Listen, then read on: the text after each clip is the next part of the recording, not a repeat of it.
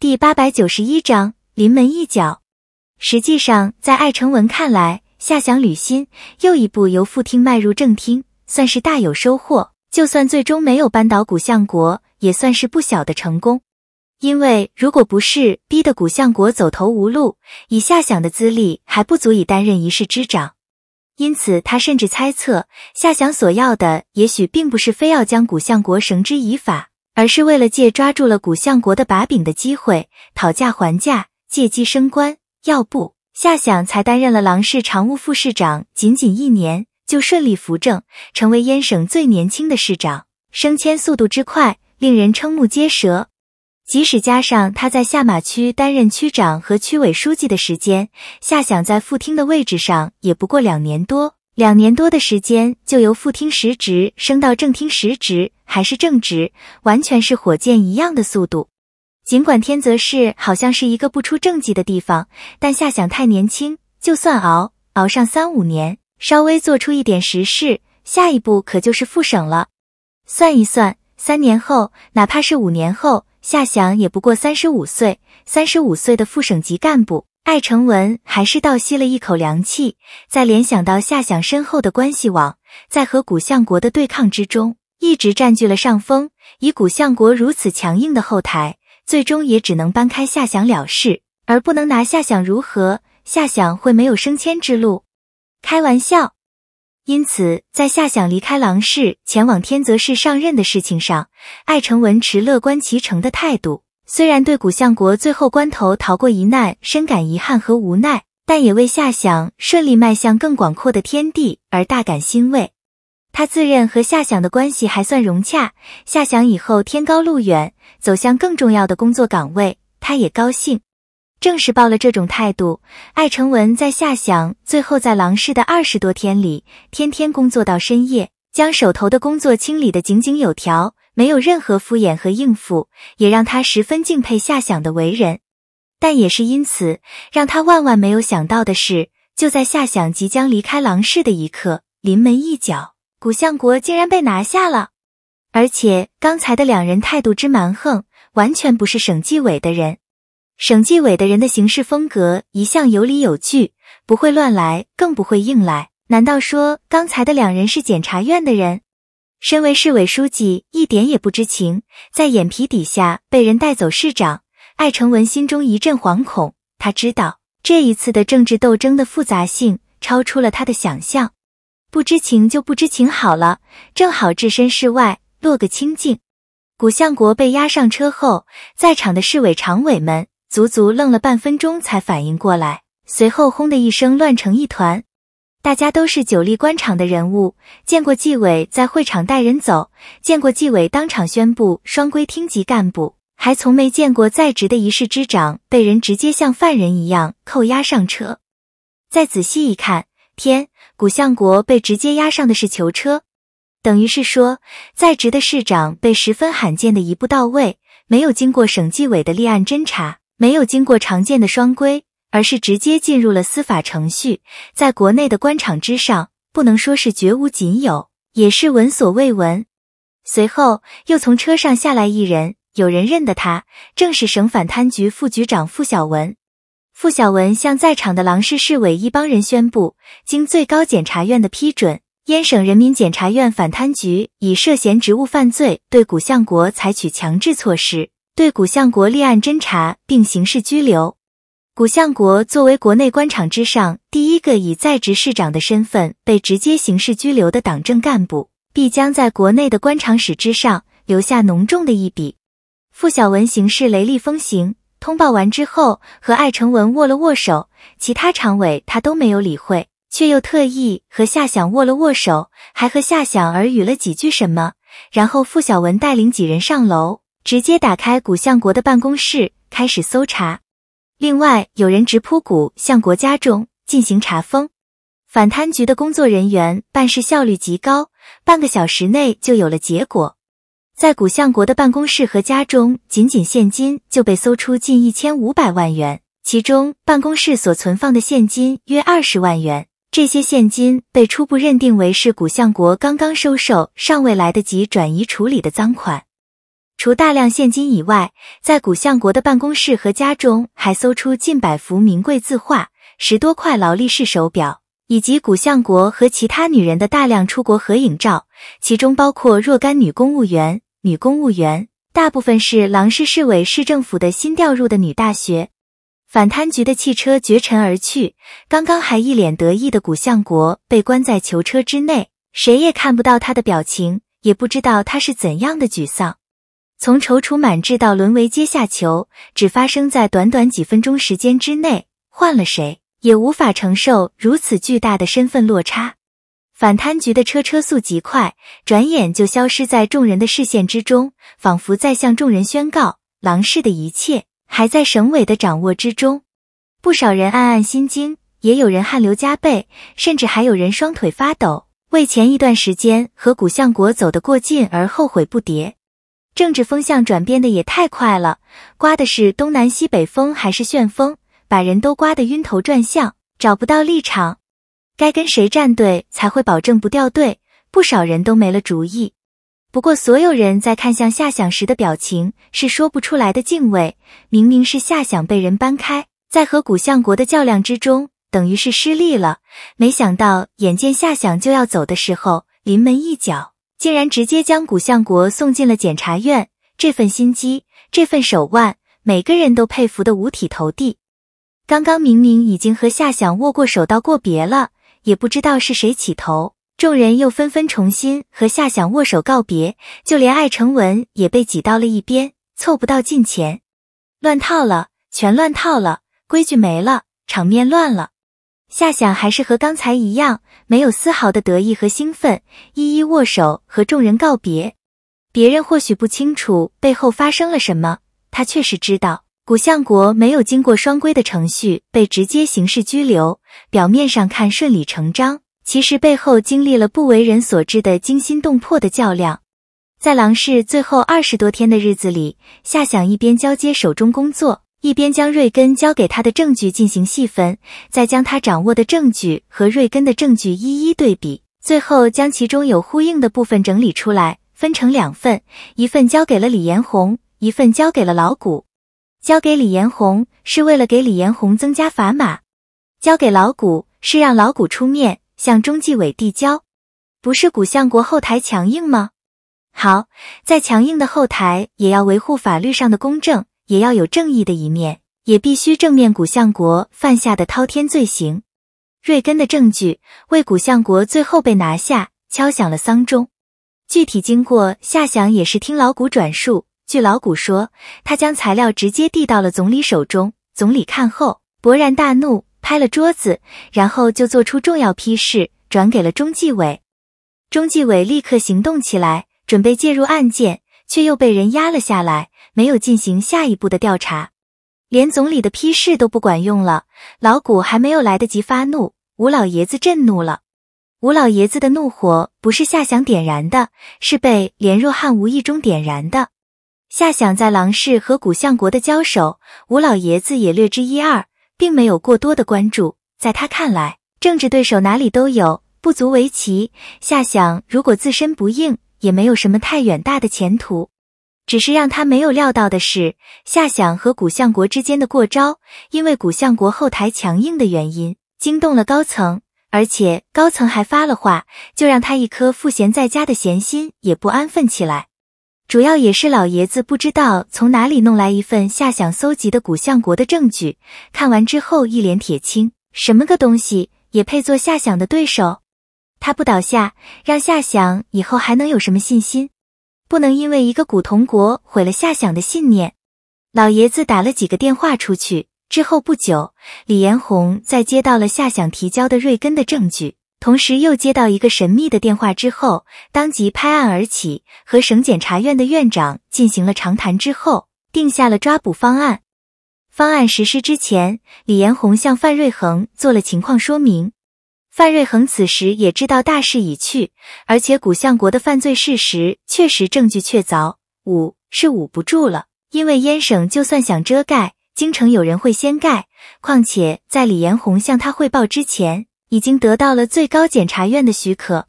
范瑞恒默认了行动。李延宏告别的时候，范瑞恒非常客气的起身送了一送。他送的不是李延宏，是向李延宏身后的吴家致敬。因为上次掉下想去天泽市的提议没有通过书记办公会，而此次突然就是重提，迅速就达成了共识，连宋朝度也投了赞成票。据说有吴家的影子在内。吴家不想让夏想再在郎氏待下去，想将他调往天泽市，所以又一次影响了燕省的局势。至于吴家为什么要将夏想从郎氏挪开，范瑞恒只知其一，不知其二。吴家将郎氏视为高层中平民一系的地盘，而天泽市则是家族势力的地盘。调夏想过去大有深意，显然是想让夏想和平民势力划清界限。夏想还真是一个香饽饽，和梅家稍微疏远一点，又迅速和吴家走近了。范瑞恒暗暗头疼，以后凡是夏想的事情，他少插手为好，省得一不小心就不知道惹了谁不高兴。他不是政治局委员，在高层之中的影响力相当有限，说话的声音也十分微弱。夏想也确实不简单，中央首长都发话了，关于古相国的问题就算了吧，夏想还不算完，非要将古相国踩在脚下，有胆量也有魄力。只是他敢违背中央首长的意愿，就算上头有人罩着他，以后想走向更重要的工作岗位，恐怕也会遭遇到不小的阻力。不过范瑞恒想了一想，还是给范征打了一个电话。夏想国庆后会到天泽市上任，国庆期间会在燕市，你和他多走动走动。因为出现了意外，夏想就比原计划晚了一个多小时。正准备出发的时候，郎氏市委接到省委来电，因为夏想履新要到国庆以后，距离现在还有十天左右的时间。要求夏想在为郎氏站好最后一班岗，暂时主持市政府工作。结果夏想就没有走成，只好留了下来。因为郎氏一下调走一名常务副市长，抓捕一名市长，等于一下空缺了两个关键位置。省委还没有安排合适的人选来上任，市政府不能没有人主持日常工作。夏想尽管已经交接了工作，但临时挑起重担也没什么好说的。第二天，省委正式宣布开除古相国党籍，免去古相国郎氏市委副书记职务，并建议郎氏人大依法罢免古相国市长职务。当天下午，郎氏就紧急召开人大会议，全体表决一致通过决议，免去古相国郎氏人民政府市长一职。开玩笑，都被刑事拘留的人还担任着党政职务，就是滑天下之大稽了。所有任免都是前所未有的快，体现了我党一贯的严惩贪官、绝不姑息的决心。郎氏真正的沸腾了，市民在大街上奔走相告，说到道貌岸然的古市长没有经过双规，直接就被押上了囚车；说到夏市长伸张正义，平反了许多冤假错案；说到夏市长打击欧纳臣的黑恶势力，还郎市一片青天。所有市民都欢欣鼓舞，对夏想无比敬爱。但夏想调走的消息也在每一个人的心头萦绕，并且沉重。夏市长是一个好市长，不但扫清了郎氏猖獗多年的黑恶势力，让郎氏市民终于不再提心吊胆的走路，还为郎氏拉来了巨资，盘活了濒临倒闭的大学城项目，又为郎氏上马了观光、农业、全美期以及其他众多产业。短短一年时间内，为郎氏拉来了十几亿的投资。创造了上万个就业岗位。说夏想是郎氏建市以来最有作为的市长，一点也不夸张。尽管夏市长只是常务副市长，但在百姓的心目当中，他就是最好的市长。夏想虽然没有在郎氏扶正，但现在他暂时主持市政府全面工作，也算是担任了几天郎氏市长的职务，估计也是郎氏历史上在任时间最短的市长，但丝毫不影响他在郎氏的历史上。留下浓重的一笔。夏想又在郎氏多留了三天，正好是九月底的三天，实际上都是一些收尾工作，没有什么大事。但他还是兢兢业业站好了最后一班岗，甚至还在三天之内又和京城方面谈妥了一笔投资。郎氏市委一帮人由开始看夏想时敬畏，到现在全都变成了敬佩。然后就到了国庆假期放假后。夏想要回燕市，和上次只有市委领导出面不同的是，这一次，市委大院所有的工作人员都出面为夏想送行，场面十分感人。如果说以前市委大院的人不了解夏想的为人，但现在夏想一走，都又想起了夏想的好处，都十分不舍。尤其是李裁员，可以说夏想的出现改变了他一生的命运。他当着无数人的面哭得一塌糊涂，完全不顾形象。刘依林也是感慨万千，他也很庆幸认识夏想一场，虽然和夏想之间没有真正走近。总有隔阂，也没有期待中的一点小暧昧什么的，多少让人遗憾。但夏祥始终是他见过的最年轻、最阳光，也最有担待的男人。是的，是男人。他不愿意用官员或干部来称呼夏想，在他眼中，夏想是一个值得有眼光、有品位的女人欣赏的极品男人。说实话，在郎氏的一干常委中，最和夏想惺惺相惜的是张英吉，最敬佩夏想的也是他。张英吉为人最讲原则，凡事爱较真。一开始他也挺不喜欢夏想，觉得夏想爱惹事，总爱挑起事端。后来他才发现，不是夏想惹事，是夏想比别人更有正义感，看不惯为非作歹的人横行霸道，不像许多人一样官僚，对丑恶事件睁一只眼闭一只眼。夏想有手腕强硬的一面，有手腕高超的一面，也有嫉恶如仇的一面。夏想的离任，张英吉感慨万千，依依不舍。在他看来，夏想本可以在郎氏大展手脚，尤其是现在古相国倒台了，本该夏想扶正，夏想却又调到了天泽市，不得不说是郎氏的一大损失。夏想心中也有一些感动，看着一张张热情的面孔，相信也有不少人对他真心挽留。但政治就是政治，总有身不由己的时候。他也想继续留在郎氏工作，也有延续性，只是没办法，有人还是想要挪开他。挥手告别郎氏，告别了一段惊心动魄的历程。夏想心想，或许天泽市因为贫穷的原因，会安稳平静许多，正好可以大力发展经济，多为百姓做做实事。踏上了回程。到了高速路口，回头最后看了一眼郎氏，夏想心中五味杂陈，摇了摇头，不再去想，就让萧武准备驶入前往燕市的高速。魏新早先已经离开了郎氏，回到了燕市，现在陪在夏想身边的是萧武几人。汽车缓缓驶入收费站，然后驶入辅道，前面分出了岔路，一处通往京城，一处通往燕市。萧武一达方向，正要驶入燕市车道。夏想的电话突然响了，是欧纳臣。夏想迟疑了一下，接听了电话。电话里立刻传来欧纳臣气急败坏的声音：“夏市长，求求您，求求您帮帮我，我给您磕头了。”声音凄惨绝望。出了什么事？求您救救我的女儿，他们在京城被人绑架了，他们要被人糟蹋了。第八百九十二章意外之乱。夏想大吃一惊。平心而论，他对金银茉莉虽然没有什么感情因素，而且多少对他们的所作所为稍有不满，但也必须承认，他们是一对人见人爱的姐妹花。他们本质上不坏，也没有什么坏心眼，确实为欧娜臣有意无意做过一些不好的事情，但也不应该沦落为被人作践的地步。夏想急问：“到底是怎么一回事？你先说清楚。”我、我、我。慌乱之下，又失去了往日的威风。欧纳臣终于再次结巴起来，语无伦次。我想让他们姐妹出国，已经办好了全部手续。昨天他们就到了京城，今天一早的飞机。谁知道今天就联系不上他们了？一打听，听说他们昨天半夜被人从宾馆带走了，现在下落不明。夏想火大了，什么人？国华瑞。夏想顿时愣住，怎么会是他？又一想，不由苦笑。怎么不能是他？国华瑞是京城有名的二世祖之一，也是太子党之中的非常另类的一个人。不提他身为政治局委员之一的叔叔，就是他的父亲，也是国内最著名的垄断企业国有化的老总国寒阳。国寒阳其人，夏想并不太了解，也没有过接触，但能担任国油化的老总，绝非寻常之人。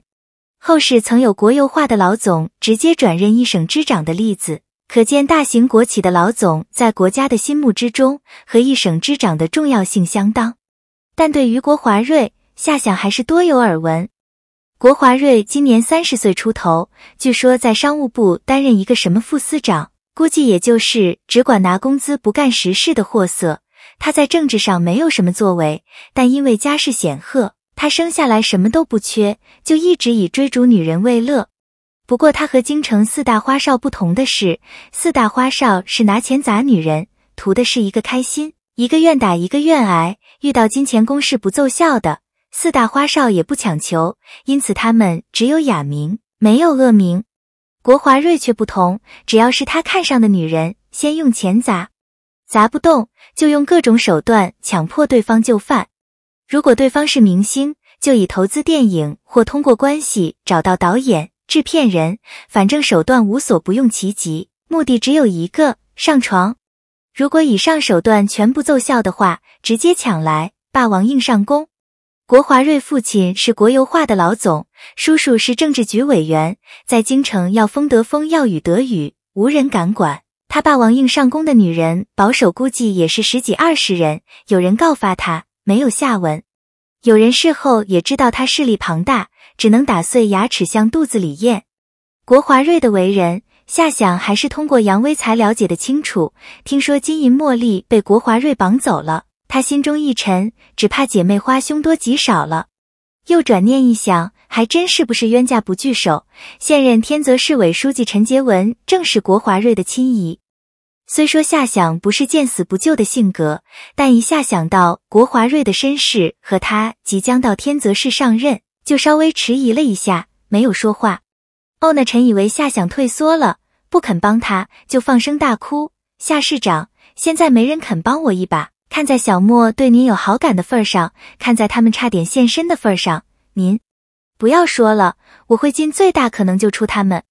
夏想急忙打断了欧娜臣的口不择言。都什么跟什么，他就金银茉莉，可不是为了贪图他们的美貌。你等我消息。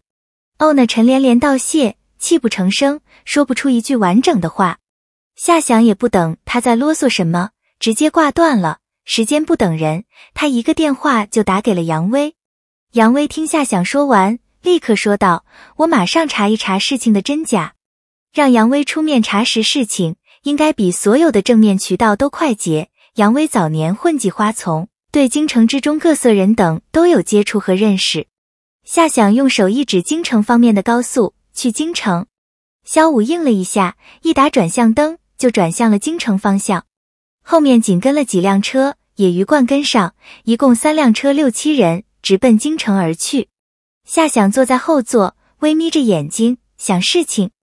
因为调他离开郎氏，事发突然，他只顾得最后投入全部精力扳倒古相国，还没有想好如何处置欧那臣。按照他最初的设想，欧那臣必定是要绳之以法的。因为他虽然和古河国所犯的罪行不一样，但他一样是罪行累累，死有余辜。其实就算离开郎氏，夏想也没有打算放过欧那臣。他的打算是等到了天泽市之后，再杀一个回马枪，只需要等古相国一案尘埃落定之后，再回头收拾了欧那臣也来得及。不成想，意外发生了金银茉莉被绑的事情。夏想不是圣人，对金银茉莉没有男女之想，也没有独霸心理。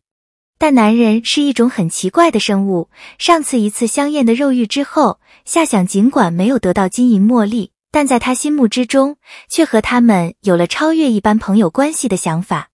就算金银茉莉不是他的女人，但在他看来，除非金银茉莉愿意，别人强迫他们，他绝对不能袖手旁观。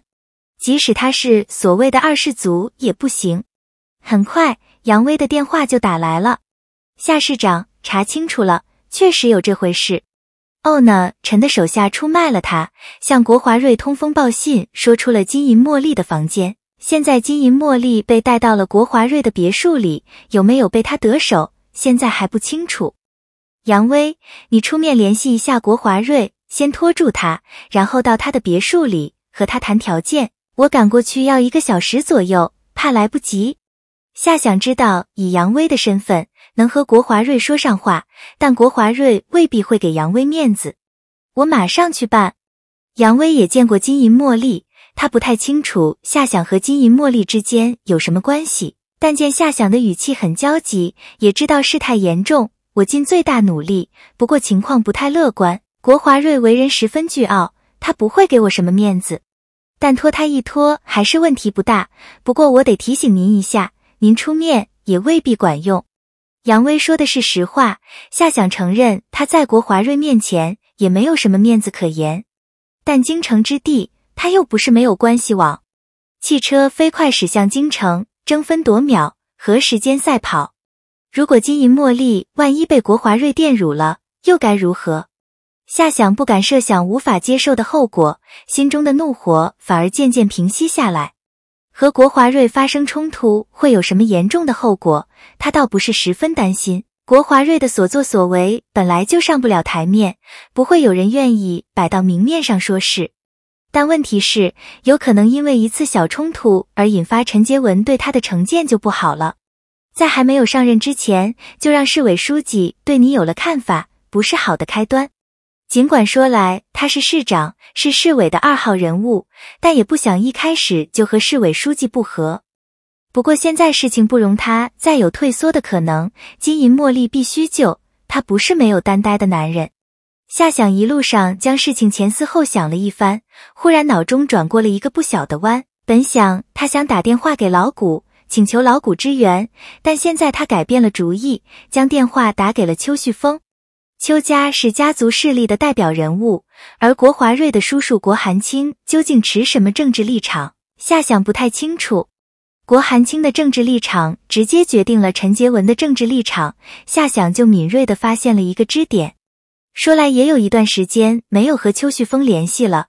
邱旭峰在燕市的组织部长干得有声有色，再有两年力度大的话，直接担任市委书记。机遇不好的话，可能先当一届市长，再上书记。总之，仕途一片光明。恭喜了，夏市长。邱旭峰接到夏想来电时，正在办公室收拾东西，准备下班。眼见要放假了，组织部的事情不多了，他就打算早点回京城，省得留在燕市应付没完没了的送礼者，也是麻烦。他不稀罕什么礼物。又不缺钱，不想因为收受礼物而影响了自己的仕途。对于夏想的意外扶正，他也清楚是政治斗争的意外结果，但还是为夏想感到高兴。正厅实职，又是一市之长，不是人人都有这么好的机会的。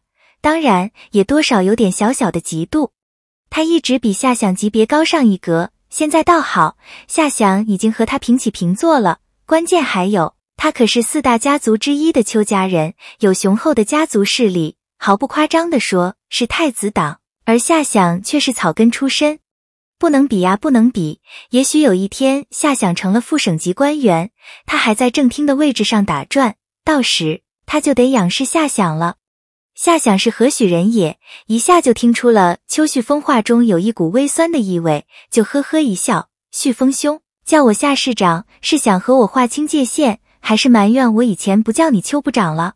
邱旭峰立刻回过味来，你呀，还是一点也不饶人了。好了，夏想去天泽市是好机会，恭喜你。回头一起坐坐，好好聊聊。现在我就有事情找你。夏想将金银茉莉被国华瑞强抢的事情一说，不出所料，邱旭峰沉默了片刻，有必要非要插手。夏想的态度很坚决，不惜一切代价。尽管夏想并没有说出请他帮忙的话，邱旭峰心里清楚，夏想是来请求他的帮助来了。夏想在京城的关系网虽然不如在燕省深厚，但可以借助的力量也有很多，都不找，偏偏来找他，就大有深意了。邱旭峰微一沉吟，还没下定决心要怎么做，夏想就匆匆挂断了电话。我接一个电话，一会儿再打给你。是杨威来电。领导，我没联系上国华瑞，现在正在往他家里赶。不过听说昨晚他喝醉了，有没有办坏事就不清楚了。等我到了之后再联络。杨威匆忙交代几句，就又挂断了电话。夏想心中对杨威的热情和办事能力深感欣赏，越发认定杨威此人可交。刚挂断杨威电话，邱旭峰的电话就又打了进来。还算有交情可言。如果等不来邱旭峰的电话，夏想也没打算再给他打过去。夏想，我联系了一下，暂时没有联系到方便出面的人，这样我也正好放假了。现在就向京城赶，到了后再和你碰面，怎么样？也好，我在京城等你。夏想就很客气的说了一句，挂了电话。实际上他心里有数，邱旭峰打了一个埋伏，以邱家的实力，就算在省部级干部大调整中失利，也不至于在京城无人可用。京城可是邱家的大本营。邱旭峰是缓兵之计，他说的好听，似乎是说要直接出面。其实还是看情况再说。从燕市到京城有三个小时的路程，再加上堵车，四个小时能赶到就不错了。黄花菜早凉了，只能说邱旭峰没有上心。夏想微微摇头，基本上可以断定，国华瑞的叔叔也好，父亲也好，即使不是家族势力的人物，也和邱家有内在的联系。否则以邱旭峰和他的交情，如果对方是一个局外人。他会毫不犹豫的出手帮忙。算了，不指望邱旭峰了。何况他没有将希望全压在邱旭峰身后，只是想找一个切入点，从侧面了解一下和他搭班子的天泽市委书记陈杰文的政治倾向罢了。拿起电话，正要打给老谷，手机却又意外的响了。夏想现在没时间理会一些无谓的来电，看了一眼号码不认识，就直接拒听了。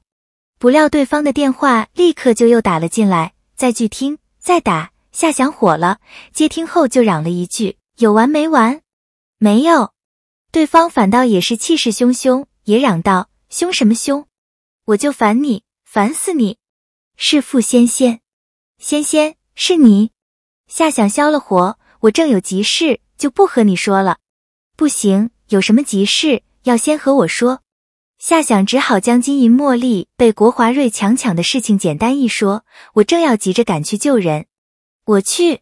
傅仙仙的声音突然就提高了八度。狗东西，我最恨强迫女人的男人了。国华瑞是一个王八蛋，我去找他，直接太监了他。啊！夏想吃惊不小。什么时候傅仙仙这么凶悍，并且有暴力倾向了？还没有来得及再多说几句，傅仙仙就扔下一句话，挂断了电话。我知道他住在哪里，我去找他麻烦。臭男人，去死！夏想无语了。得，本想找老谷出面，或者实在不行，向吴老爷子求助。吴家因为全美油漆厂的事情欠他一个人情，但现在暂时不用了，有小魔女出马，估计非得闹一个天翻地覆不可。狼氏离京城很近，萧武将车速开到最快，一个小时后，汽车已经驶入了京城。按照杨威给出的地点，夏想几人又花费了一个多小时才来到国华瑞的别墅。国华瑞的别墅位于京城西北，不算偏僻，但也不算市中心，位置还不错，比较安静，环境也好，假山流水，绿树花香。别墅是一座三层的独体别墅，很奢华，很漂亮，欧式的围墙和铁门。可惜的是，铁门已经被撞飞，倒在一边。再一看，院子里一辆火红的法拉利车头已经撞烂，机盖上还顶着几盆花，而且还将院中停着的其他几辆汽车撞得乱成一团。不用说，肯定是傅仙仙的杰作。客厅之内，杨威正不动声色地坐在沙发上，装模作样的喝茶。傅仙仙气呼呼地叉着腰在地上打转，几名保镖模样的人一脸冷峻。围在一起，就是不让傅仙仙上楼。楼上还不时传来女人惊恐的哭声。杨威焦急地看了看手表，冲保镖说了一句：“请转告国华瑞，如果五分钟之内他还不露面的话，后果自负。”保镖一脸轻蔑地看了杨威一眼，动了动嘴角，没有说话。傅仙仙却抬脚踢了保镖一脚，见保镖无动于衷，不由大声喊道：“国华瑞，快滚下来！”再不下来，信不信我一把火烧了你的狗窝？楼上传来一个懒洋洋的声音，伴随着一阵坏笑。姑奶奶，你随便烧，烧了之后我再买新的。再说你哥也会陪我的，我不怕。还有，我刚才给你哥打电话了，他一会儿就过来了。你就稍安勿躁，喝喝茶，拜拜火。等我办完了好事，肯定下去向姑奶奶赔罪。语气中透露着一股玩世不恭和不以为然。傅仙仙怒了，从杨威手中抢过打火机，扯了桌布就点着了，然后扔到了沙发了。傅仙仙一点火，国华瑞在楼上就闻到了气味，哈哈大笑，好，有种！你在楼下点火，那我就在楼上放炮了，火中作乐，简直就是人生一大妙事。话音刚落，就传来金银茉莉惊恐的哭声：“不要，不要！”杨威血向上涌，忽地站起，就要动手。几名保镖一字排开，护住了楼梯，摆明了就是不让杨威上楼，意思是想动手，请便。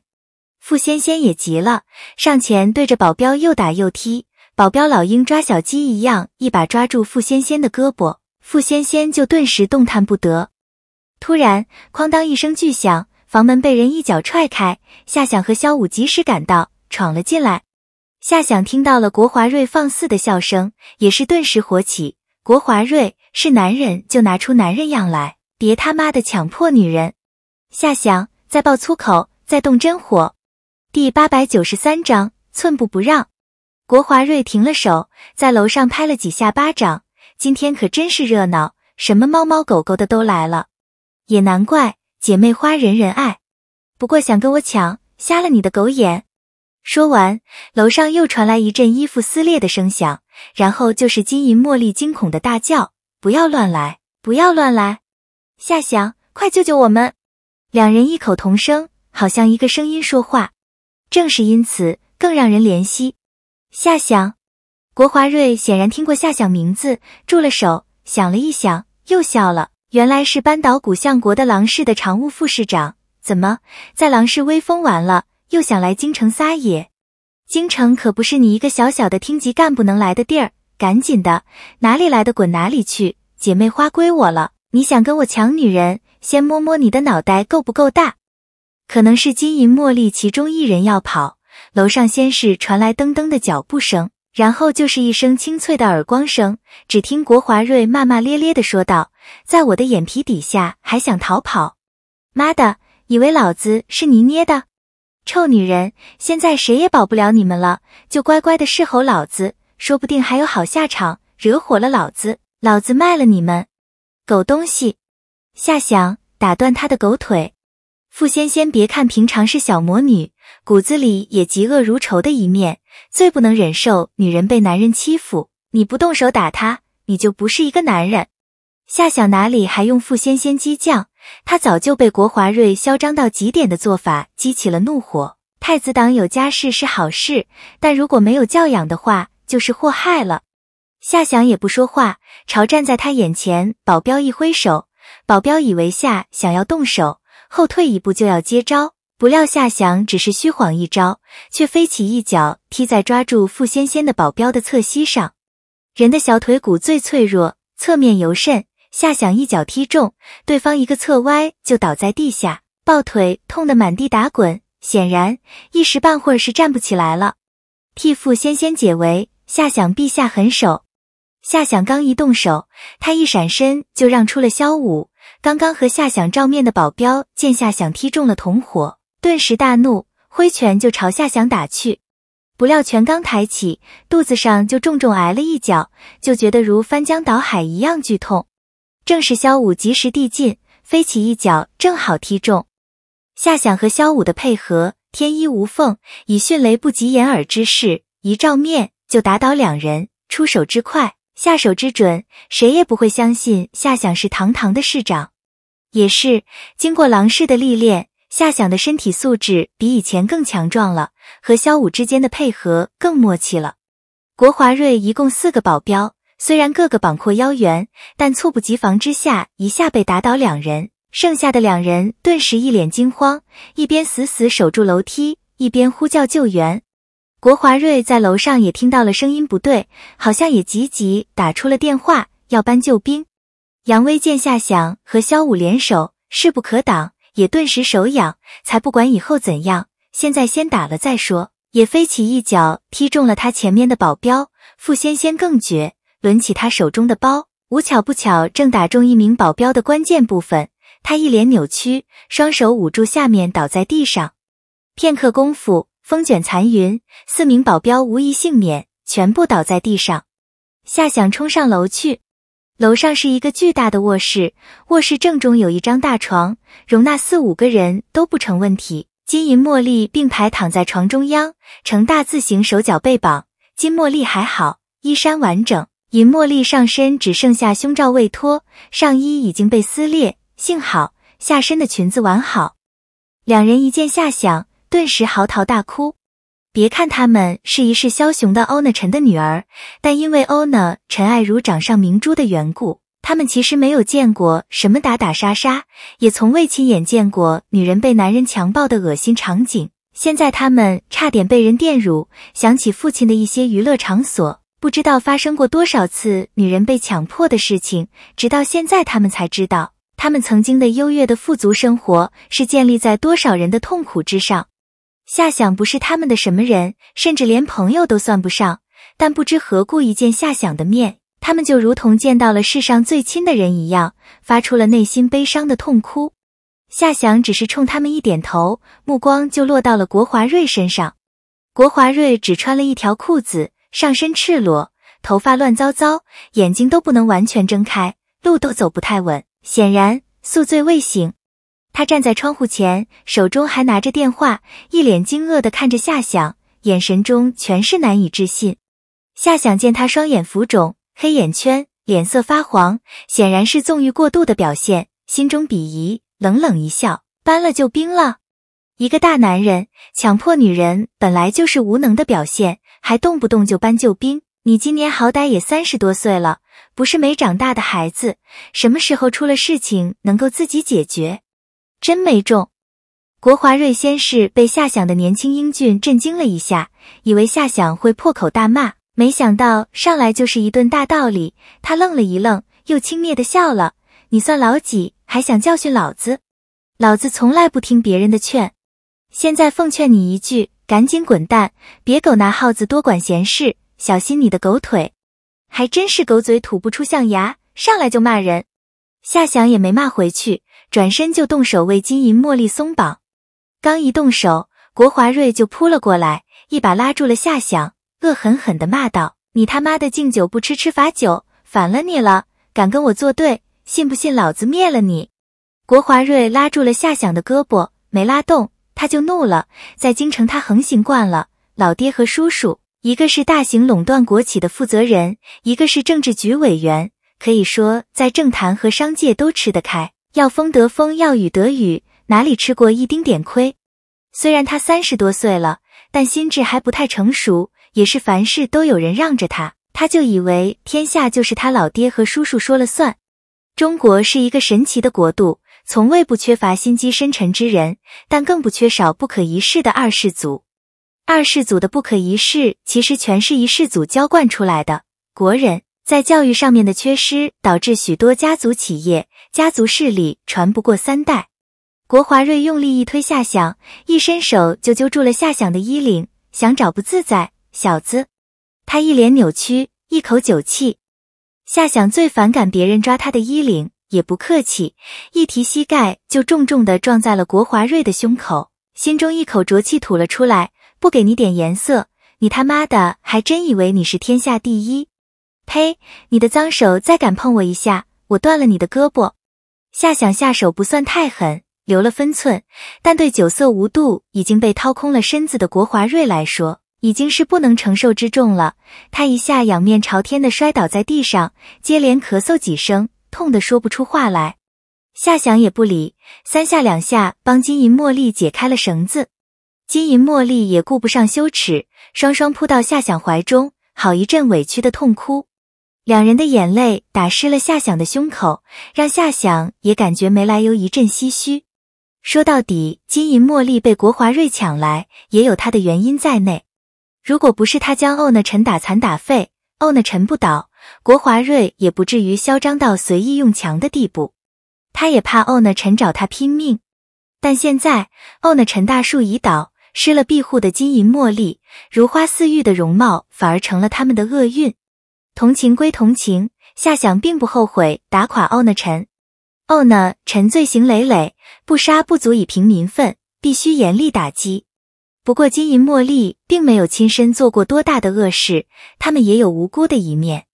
夏想被两位佳人温香暖玉铺满怀，感受到怀中双叔扑鼻的体香和娇嫩，尤其是银茉莉只戴了胸罩，还死命的压在他的胸口，就让他感受到了弹性和柔软。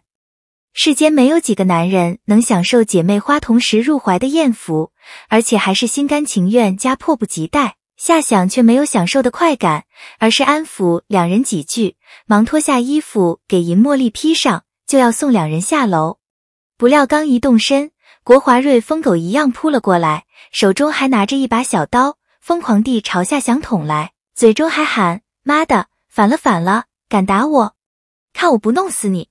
国华瑞生平从未受过欺负，更没有被人打倒的经历，他酒醉，再加上二杆子脾气上来。不顾一切的就冲了过来，大有不将夏想捅死誓不罢休的劲头。夏想左边是金茉莉，右边是银茉莉，他在中间躲又躲不得，闪又闪不开，只好一咬牙，用手臂一挡，将国华瑞的小刀挡到了一边。但手臂还是被刀锋所伤，鲜血顿时涌了出来，而且刀锋还一划，正好又割伤了银茉莉的胳膊。尹茉莉胳膊洁白如血，一道血痕浸出血渍，触目惊心。夏想此时已经一脚飞出，正中国华瑞的大腿，大怒之下就多加了几成力气，一脚就将国华瑞踢出两米开外。国华瑞一声惨叫，倒在地上昏迷不醒。许多时候，误会的造成不是因为一个人的判断力有问题，而是立场，而是远近亲疏有别，而是没有公道之心。夏想一脚踢飞国华瑞的一幕，正好被冲上楼的几人看个清楚。而国华瑞刚才拼命持刀伤人的情形，却只有夏想和金银茉莉看在眼里。因此，刚刚冲上来的几人一见国华瑞的惨状，顿时惊叫一声，只吓得魂飞天外。当前一人来到夏想面前，扬手就打来一个耳光。夏想管他是谁，才不会让他打到，就一错不让到一边。结果他就打了一个空，一个踉跄，差点摔倒。来人五十多岁年纪，一头染得乌黑的头发，一脸傲慢，气呼呼的看着夏想。看他一脸白净，像个知识分子，只不过眼神流露出高高在上的姿态，让人看了颇不舒服，好像他有多大的权势一样。实际上，真正有权势的人，往往又十分和善。来人用手指着夏想的鼻子，怒气冲冲的说道。你行凶伤人，还乱搞男女关系，你是哪个单位的？我会向你们的领导反映问题，把你开除公职。口气很大，俨然一副天下由他说了算的傲慢。和他一起上来的还有一个年龄相仿的女人，一个横眉冷对的年轻人。女人保养的很好，一身得体的职业装，头发一丝不乱，略施薄粉，虽然五十来岁了。但乍一看，似乎是不过四十出头的年纪，整个脸型长得还算不错，只不过眼角下垂，看人的时候总是眯着眼睛，给人不太舒服的感觉。年轻人一看就是两人的孩子，二十岁出头，纨绔晃荡。他瞄了夏想一眼，鼻孔中哼了一声：“你要倒霉了，小子！好有权势的一家人。”夏想没有理会面前来人的指责，正好萧武。杨威以及傅仙仙都上了楼，夏想就让萧武和杨威护送金银茉莉下楼。不料年轻人还横在楼梯口不让开，萧武就扭头看了夏想一眼。夏想冷冷说道：“不让开就打开。”萧武凶气一露，吓得年轻人立刻跳开了一边，嘴里还不服气的嘟嚷着骂人：“不过是一个银样蜡枪头，还充大头蒜，真是可笑。”傅仙仙非要留下，她气势的站在夏想旁边，扬起小脸，举起夏想的胳膊，看到没有？看到没有？看到没有？睁大你们的狗眼！谁行凶伤人？国华瑞强奸未遂，又持刀伤人，你们还血口喷人，污蔑夏想，见过护短的？没见过和你们一样护短到连脸都不要的。傅仙仙在楼下受了气，现在气性上来了，非要讨一个公道。尤其是他看到一对姐妹花，我见犹怜的花容月貌，就不可抑制的泛滥了同情，汹涌了愤怒。更为夏想胳膊上的一丝血痕而痛惜，就更想到了夏想为他受伤的一幕，心中又酸又苦，就发作了出来。老者怒了，一把年纪了，没活的学会收敛脾气，却依然是火气一点就着，气急败坏的扬手要打傅仙仙的耳光，哪里来的没教养的丫头片子！满嘴脏话，我替你的家长好好教训教训你，你还没有资格教训他。夏想见老者为老不尊，第二次不问青红皂白就想打人耳光，也是怒了，伸手抓住了老者的手，一把年纪了，别动不动就发火，要爱惜身体。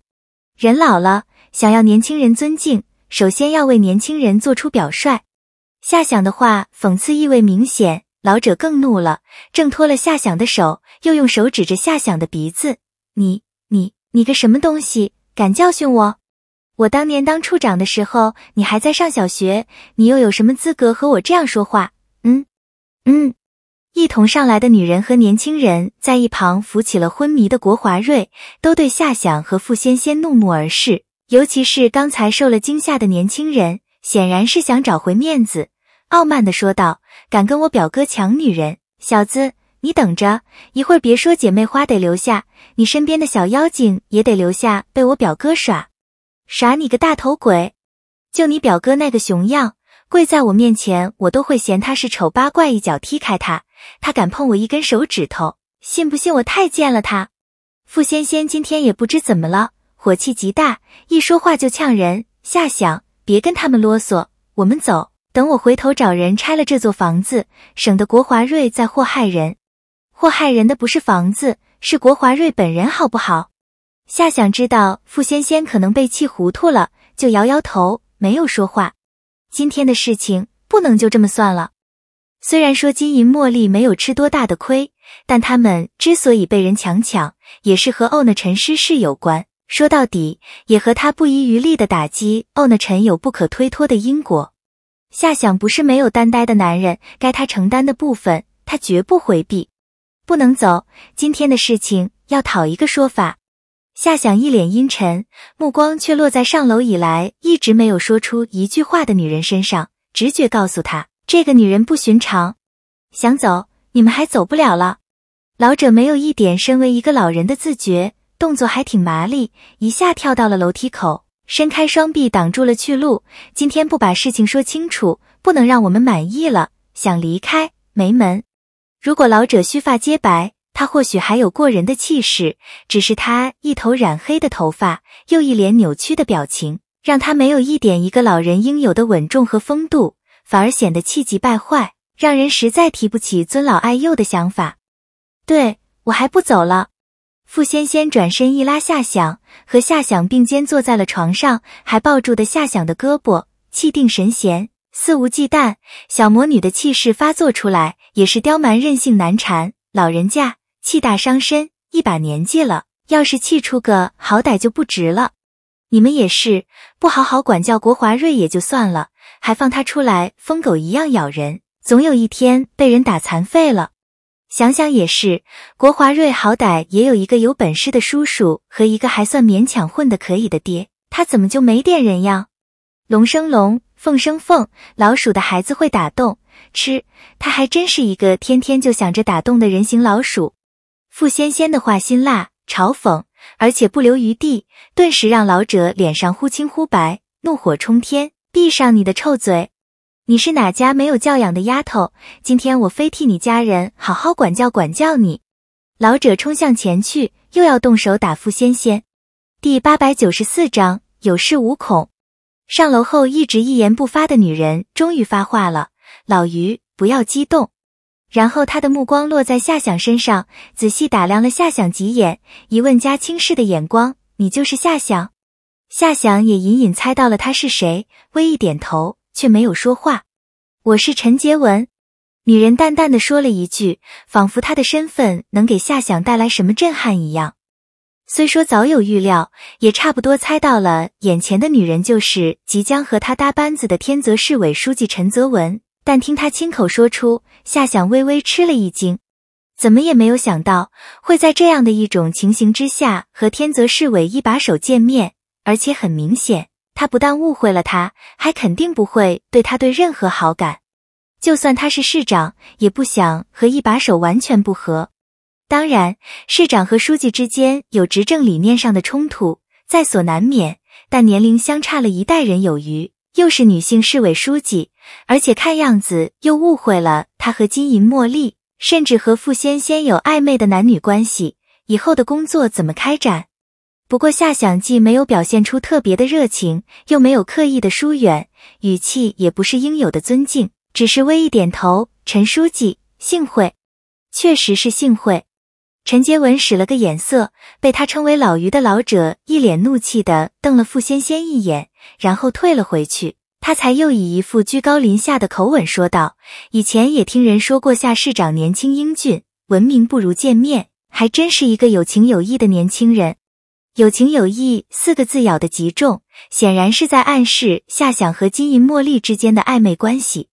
夏想没说话，傅仙仙倒先开口了：“你想说夏想怜香惜玉就明说，别含沙射影。夏想又年轻又帅气，人又好，有女人喜欢很正常。你的儿子就不行了，一看就一脸流氓样，谁喜欢他谁就是瞎了狗眼。”陈杰文自认很有涵养，所以上楼后一上隐忍不发。但还是受不了傅仙仙刁蛮的讽刺，终于脸色变了，真没家教，还有脸说我没有家教？国华瑞绑了人家姐妹要强奸，真是一个有人生没有教的畜生。傅仙仙今天还真是吃了枪药，一开口就是连珠炮，不是呛人，是直接揭短，并且当面打脸。陈杰文也忍不住了，住口！你是谁家的孩子？满嘴脏话，一点素质也没有。再该乱说，我撕了你的嘴！夏想就冷笑一声：“对不起，陈书记，您还真没有资格撕他的嘴。”陈杰文本想仗着他书记的权威压夏想一头，没想到夏想不但不给他面子，还反唇相讥，他就很不快的说道：“他又是什么大家闺秀？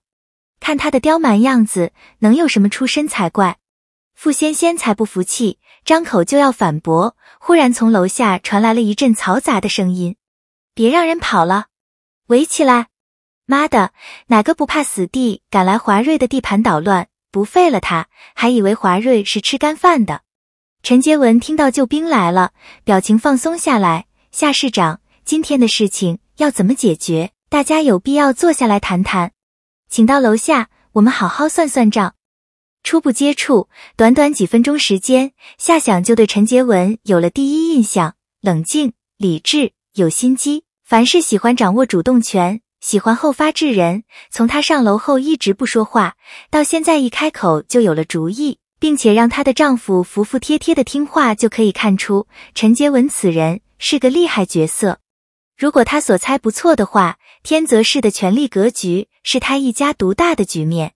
几人下楼，楼下已经聚满了人。杨威和萧武保护着金银茉莉在客厅一角。以一个很有派头的人为首的十余人占满了客厅，并且将门口堵死。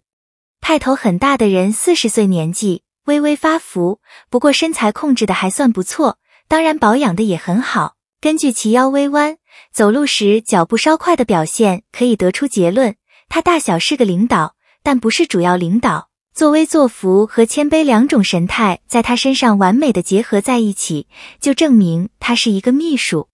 而且还是高级领导身边的秘书，陈杰文冲他微一点头，张秘书来了。又见满屋子站满了人，皱了皱眉头，摆的是什么阵势？都散了，都散了。夏市长不是你们下得住的。张秘书很听陈杰文的话，立刻一挥手就让人退了出去。傅仙仙跑到金银茉莉身边，拉住他们的手，小声安慰他们。夏想则大马金刀的坐在沙发上，杨威和萧武就一左一右站在他的身后。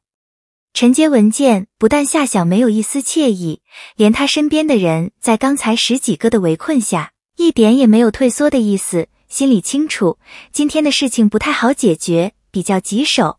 不过陈杰文却不认为国华瑞做错了什么，金银茉莉是欧娜陈的女儿。欧娜陈现在穷途末路，他的女儿就是有权有势者手中的玩具，先得者先到。况且国华瑞是谁？以他的身份看上了金银茉莉，是他们的福气。而欧娜陈明明是夏想打残废的，夏想为什么又要替他的女儿出头？想不明白。如果夏想早和金银茉莉有暧昧关系，也不会非得打垮欧娜陈。陈杰文很费解，但除了费解之外，他更多的是愤怒。本来对于省委突然决定让夏想担任市长，他就十分不满，委婉的向省委提出了反对意见，理由是夏想太年轻，和他搭班子不太合适。省委没有理会他的反对，甚至连一个解释都欠奉，就让他感觉受到了冷落。本来他和省委关系还算不错，但听说夏想和省委的关系更好，就让他心里很不是滋味，担心夏想来到天泽市会动摇他在天泽市说一不二的权威。夏想的履历他研究过了，走到哪里都会在哪里惹出一堆麻烦事，就让他很是头疼，非常不欢迎夏想的到来。但省委已经做出了决定，只有服从，还没有想到如何调整策略，不让夏想在天泽市也惹是生非。不想今天就和夏想意外见面了，不但见面，而且还是激烈的矛盾冲突，就让他始料不及。不管夏想和金银茉莉关系如何，陈杰文却因为本来就对夏想印象不好，今天一接触就更加深了恶感。原先他以为夏想只是一个行事张扬、爱出风头的刺头，现在看来他还很好色，乱搞男女关系。这样的人怎么也能飞快的升官？三十岁的市长，老天和他的儿子大不了多少，怎么搭班子开展工作？作为女人，虽然已经是老女人了，但陈洁文还是最厌恶男人风流成性了。当然，出于护短的心理。他不认为国华瑞是风流，因为国华瑞还没有结婚，而夏想已经结婚了，所以他就抓住了这一个理由，一心认定夏想身上毛病众多，刺头，惹是生非，爱出风头，还乱搞男女关系，这么多缺点集于一身，夏想到了天泽市，肯定会把天泽市搞得乌烟瘴气。陈杰文不能想，越想越气，他坐在夏想的对面，斟酌了一下语句，夏市长。今天的事情，你说怎么个解决法？夏想见陈杰文端坐的样子很端庄，只是气势很凌人，就更坚定了他的判断。陈书记是一个喜欢独揽大权的一把手，女人如果爱揽权，比男人还可怕。国华瑞向陈默、陈丽赔礼道歉，赔偿精神损失十万元，并且承诺永远不再骚扰他们。夏想要求的条件并不苛刻，他已经给陈杰文留了情面。毕竟以后还要共事，换了别人，就算他是政治局委员的儿子，也必须付出惨痛的代价。但夏想的条件听在陈杰文的耳中，就成了赤裸裸的挑衅。陈杰文轻轻摇了摇头：“夏市长，过了，太过了。”他站了起来，用手一指楼上，华瑞还在昏迷之中，他又没有怎么沉默沉立，却被你打得不成样子，你就没有一点表示，就不觉得做错了什么？陈杰文说话很文雅，语气很平静，似乎没有一点火星，但谁都听得出来，在平静的语气下面有强烈的不满，很有说话的艺术。夏想也暗暗赞叹，没怎么说得轻巧。夏想也站了起来，他知道陈杰文站起来的意思是想让他仰视，他一站起来就比陈杰文高了一头，得逞了是强奸罪，没得逞是强奸未遂。这件事情就算打官司也有理要说，强奸，别开玩笑了。男人女人之间的事情，谁说得清是谁主动是谁被动？现在的小女孩傍大款傍高官子弟的多了，沉默陈立也许是自愿倒贴，也有可能。陈杰文的履历夏想也看过，知道他做过妇联工作，也当过组织部长，果然是伶牙俐齿。颠倒黑白的水平十分高超，放你的狗臭屁！傅仙仙又开炮了，亏你还是什么市委书记，怎么人头猪脑？自愿？国华瑞也不照照镜子看看自己，长得那么丑，谁会自愿上他的床？除非是精神病。饶是陈杰文多年在官场历练了一副好脾气，也忍不住发了火。夏市长，管好你的人，别让他满嘴脏话，真替他爹妈丢人。你傅仙仙还想说什么，被夏想挥手制止。夏想要的不是和陈杰文的吵架，他的话不好听，不过在理。夏想当然要向着傅仙仙说话。刚才陈杰文的话也让他十分不满，完全是昧着良心说话。陈书记说是什么自愿，这话您自己也不会相信。如果您觉得我们谈不拢的话，好，没关系，我们各走各的路，各凭各的本事说话。陈杰文站在夏想面前两米远的地方，夏想足足比他高了一头，让他感觉到了一种莫名的压力。夏想个子再高也是副手，他才是书记，是一把手。尽管现在不是在天泽市，但他还是自认比夏想高了一等，好吗？现在夏想一点也不给他这个市委书记面子，刺头的传闻名不虚传。每个人都有自己的立场，陈杰文对夏想有偏见，却不会想想国华瑞的所作所为是多么的卑鄙无耻，只一心认定夏想无理取闹，打了人还想走。没门！老于又发怒了，又怒不可遏地遥指夏想的鼻子。他说话时最喜欢指别人的鼻子，仿佛不指别人鼻子就显不出他的威风一样。我不管你是什么市长还是副市长，你今天打了人，不但要赔礼道歉，还要负法律责任。我已经报警了，等着警察来处理吧。跟他们废什么话？先打上一顿再说。陈杰文的儿子刚才一直在楼上没有下来，现在从楼梯上露出头来。我们人多，他们人少，男人打倒，女人再抢上来，看他们能怎么着？国华瑞不知何时也醒了过来，他摇摇晃晃从楼上下来，看到了眼镜中年男，知道救兵到了，又见到夏祥有恃无恐的样子，顿时气不打一处来，冲眼镜中年男大喊：“张叔，就是这个小子打了我，快！”帮我收拾了他。说话间，他自是有了救兵，一心报复夏想，就又朝夏想冲了过去，而且还顺手抄起一把椅子就朝夏想砸去。萧武出手了，准确的讲是出脚，一脚就踢飞了椅子，椅子飞势不减，砸在客厅的液晶电视上，顿时将电视砸了一个大洞。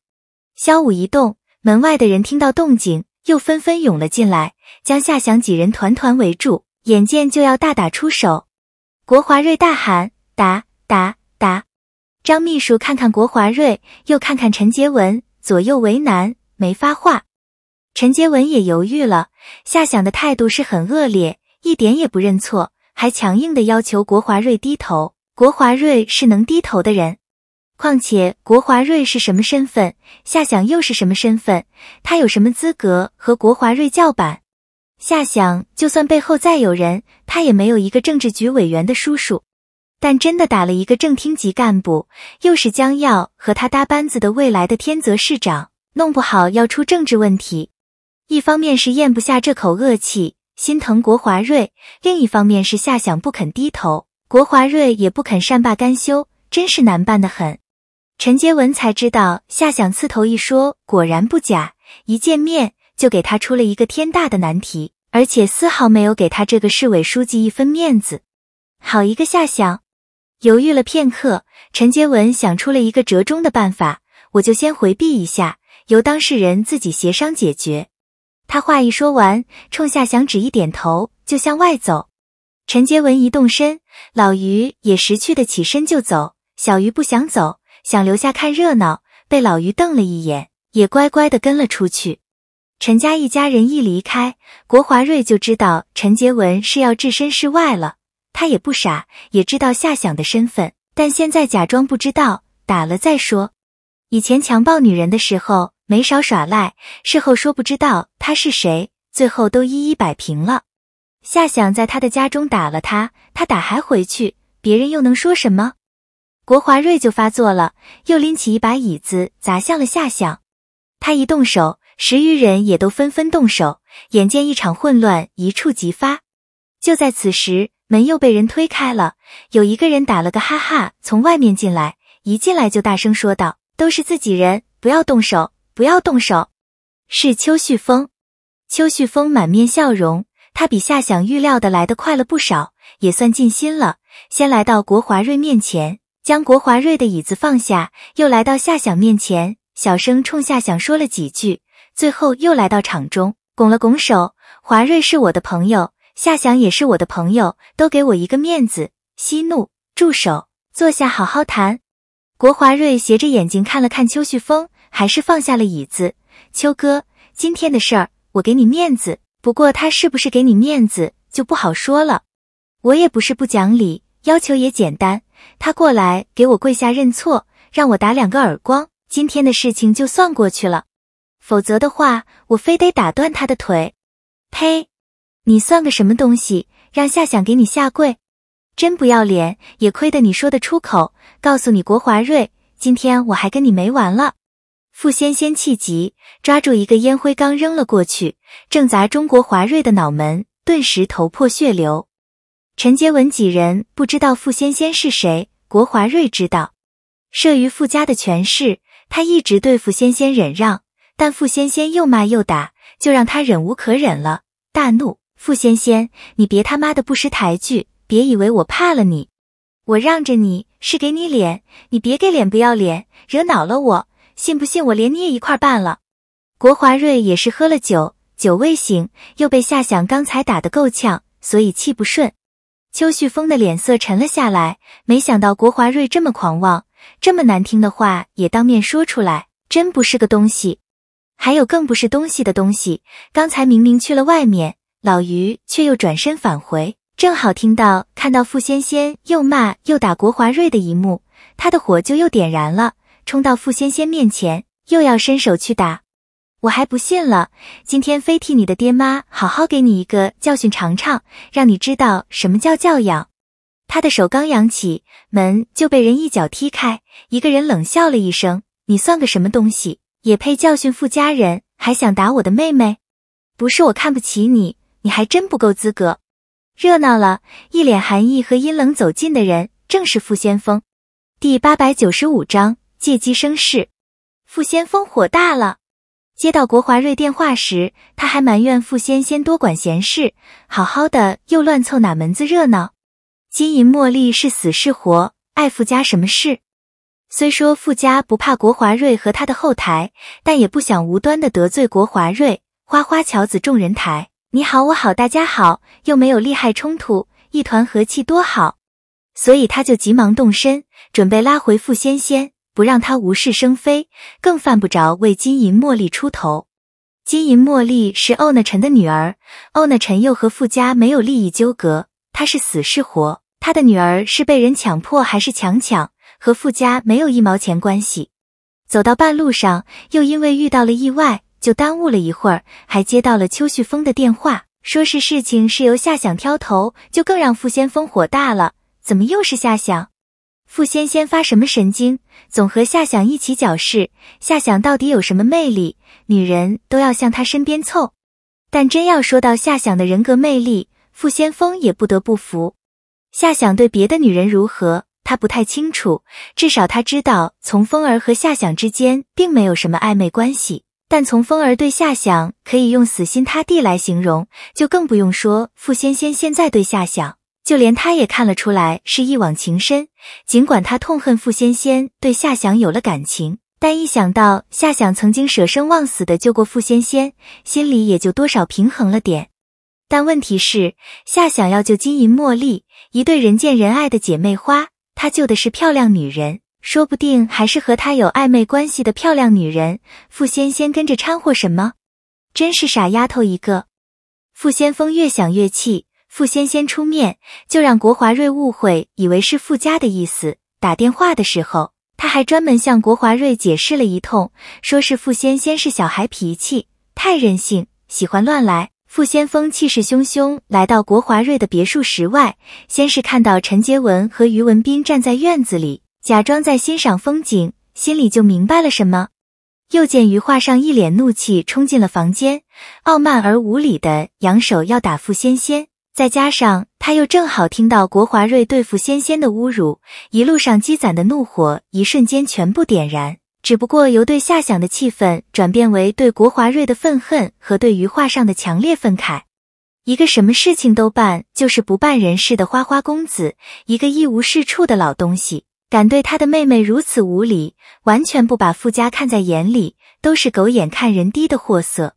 再看夏想一手拉住傅仙仙，挺身而出，挡在傅仙仙面前，两相对比之下，他的心中竟然第一次对夏想有了微小的好感。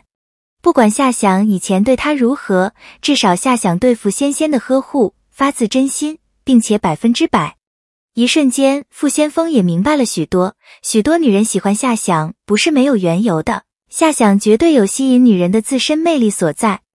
但现在不是他猜测夏想怎样吸引女人的时候，现在是他发火的时候。他一进门就先冲于画上怒喝一声，又转身冲国华瑞冷笑说道：“国华瑞，连我妹妹的主意你也敢打？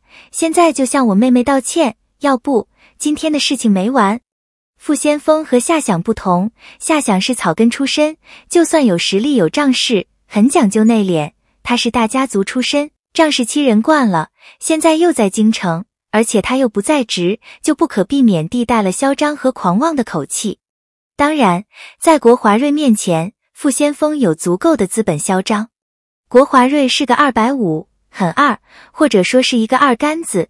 刚才骂傅仙仙也是有口无心，凭他的德性，脾气上来连他爹都敢骂。骂完了，扭头就忘了。他也没想到，正好傅先锋赶到，又让人听个正着，就被傅先锋的气势一下压住，张了张口，说不出话来。余画上却又将怒火发到了傅先锋身上，转身来到傅先锋面前，用他常用的指着别人鼻子说话的架势，不屑地冲傅先锋一顿咆哮：“那个丫头片子是你的妹妹？好，你这个哥哥是怎么当的？嗯，你妹妹一个女孩子家，不自尊自爱，不尊老爱幼，还满嘴脏话，你们是什么人家？有没有家教？”国华瑞知道傅先锋是谁。余画上却不知道，因为他没有见过傅先锋。余华上今年五十多岁了，还是处级，而且还不是实职，仕途一直不顺的他，又长期生活在陈杰文的阴影之下，就难免有点心理失衡。说难听点，就是有点心理变态了。于画上是副处的时候，陈杰文才是正科，后来等陈杰文升到了正处，他还是副处。陈杰文升到副厅的时候，他好不容易借助裙带关系，利用陈杰文攀上了国华瑞父亲这棵大树，才顺利扶正，当上了处长。然而由于自身能力有限，陈杰文由副厅到正厅，由市长到市委书记，步步高升。只有他在处长的位置上晃荡了两年，结果不升反降，直接被人弄到后勤闲职了，差点没把他气出好歹。几次通过陈杰文想走走国寒阳的关系，陈杰文口头答应着，却一直没有付诸行动。于画上就一直不上不下的待着，很难受。是男人都有自尊，尤其是他的自尊心又强烈，人又敏感，每次出门就被冠以市长丈夫、市委书记丈夫的称号，着实让他心中憋闷。久而久之，就郁积成疾，心理上就有了问题。其实追根溯源，于画上本来就是脾气不好，人有些肤浅，也是国寒阳一直不喜欢他，也不肯拉他一把的内在原因所在。而且国寒阳也十分看不起于画上，于画上也是心里有数，在一帮亲戚之中，他地位最低。逢年过节，他年纪不是最小，但端茶倒水一类的事情却都是他做。表面上他很乐意，实际上心中憋屈的很。越是如此。人前越低下，人后就越嚣张。余画上想通过竭力维护国华瑞来赢得国寒阳的好感，又被傅仙仙骂得狗血喷头，就动了真火。盛怒之下，就失去了理智。在京城的地界之上，傅先锋长这么大，还没有被人这么气势的教训过，更何况是他也看不起的吃软饭的余画上。余画上不认识他，他却认识余画上。他一伸手打开余画上的老手，冷哼了一声：“拿开你的臭手！傅家有没有家教？别说你一个老东西，就是国寒阳也不敢胡说八道。”这句话说的极重。国寒阳现在是副部级，被傅先锋指名道姓，而且语气很不客气。于画上就觉得如同一记耳光当众打在他的脸上，顿时跳起脚来，扬手要打傅先锋。主辱臣死，再有他今天处处吃瘪。没有讨了一处好，又有点倚老卖老的架势，就觉得打一个后生晚辈一记耳光，以他的年纪，谁也不会拿他怎样。可惜他遇到的是傅先锋。余画上手刚举起，就觉得左脸之上一阵剧痛，随后眼前一花，然后就是一阵耳鸣，又眼冒金星，晃了两晃，差点摔倒。过了半晌才反应过来，他被傅先锋打耳光了，羞辱、丢人、愤怒。不甘一起涌上心头，余画上感觉天塌下来了。他后退了两步，又用手指着傅先锋的鼻子：“你了半天，一句完整的话也说不出口。”事发突然，当场的人都震惊了。尤其是邱旭峰，目光复杂的看了夏想一眼，又将目光落在了傅先锋身上，心思闪动，有一丝苦涩。傅先锋的盛怒和出手伤人，在意料之外，又在情理之中。国寒阳也好，国寒清也好，和邱家不但有关系，而且关系很好。而傅家表面上和邱家有联姻，实际上在刚刚的一次重大的人事变动之上，两家差点反目成仇。傅家大获全胜，邱家惨败，并且业内人士都知道，四大家族的排名已经改变了位置，邱家成了最后一名。所以今天他前来，本意也是为了调解纠纷。不想让国华瑞和夏想结仇，他很清楚夏想的手段，国华瑞绝对讨不了好去。但一进门就发现了傅仙仙也在，就让他如同吃了一只苍蝇一样，极不舒服。他就不免猜疑夏想的用意，是不是因为傅仙仙的原因，又和傅家联手了？他的态度就消极了，正打算先作壁上观，然后再相机行事时，不料傅先锋又意外杀出。还毫不客气的一个耳光打在了余化上的脸上，明是打余化上，实际上是打在国华瑞，在打国寒阳，也是在打邱家。邱家刚刚失利，被傅家抢占了地盘，傅家还得理不饶人，欺人太甚。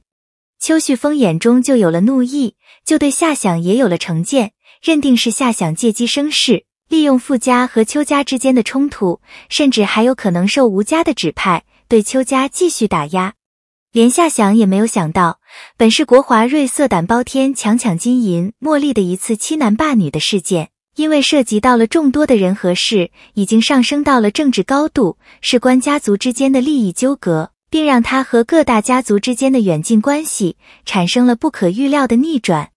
因为他并不知道国寒清和梅家关系莫逆，梅生平和国寒清从小一起长大，情同手足。先锋动手打老人家，有失身份呀！邱旭峰不无嘲讽地说了一句，伸手扶住余化上。他唯恐余化上再不识时务，冲过去动手，说不定还会再被傅先锋踹上一脚。余化上确实还想再冲上去还手，但邱旭峰暗中加劲，不让他动弹，他就知道惹不起，打不过就装可怜好了。他就老泪纵横，痛斥傅先锋：“我一把年纪了，比你爹也不小几岁。”是你的长辈，你也是有身份的人，竟然打我的耳光，不像话，太不像话！你父母是怎么管教你的？还想再说狠话？见傅先锋一脸怒气，向前迈了一步，吓得他立刻闭了嘴，因为他也看清了形势，邱旭峰只是帮腔，并不出头。国华瑞在一旁待了半天，别说还手了，还嘴都没敢还，可见来人来头不小，完全压住了国华瑞的气势。傅先锋回敬了邱旭峰一句：“旭峰，人要看品德，不看年纪。刚才他满嘴喷粪，你也听到了。要是他的话让我家老爷子听到了，老爷子也会让我多打他几个嘴巴。”一句话就呛得邱旭峰无话可说。也是，让傅老爷子听到余话上刚才的话，恐怕怒气比傅先锋还大。老爷子大怒的话，余话上就得直接回家养老了。别说国寒阳，就是国寒清也保不住他。国华瑞清醒了过来，忙陪着笑脸，抱拳来到傅先锋面前：“傅哥，小弟给您赔礼道歉了。您大人有大量，别和我一般见识。您也知道，我就是一个二杆子，什么话都是张口就来。仙仙就像我的亲妹妹一样，对她我绝对没有一点坏主意。要是有，我就一条狗。你早不是人了，早就是狗东西了。”傅仙仙陪着金银茉莉，越看越喜欢这一对姐妹花。一起到他们差点被国华瑞强暴，心里就恶心的不行，对国华瑞的印象就差到了极点。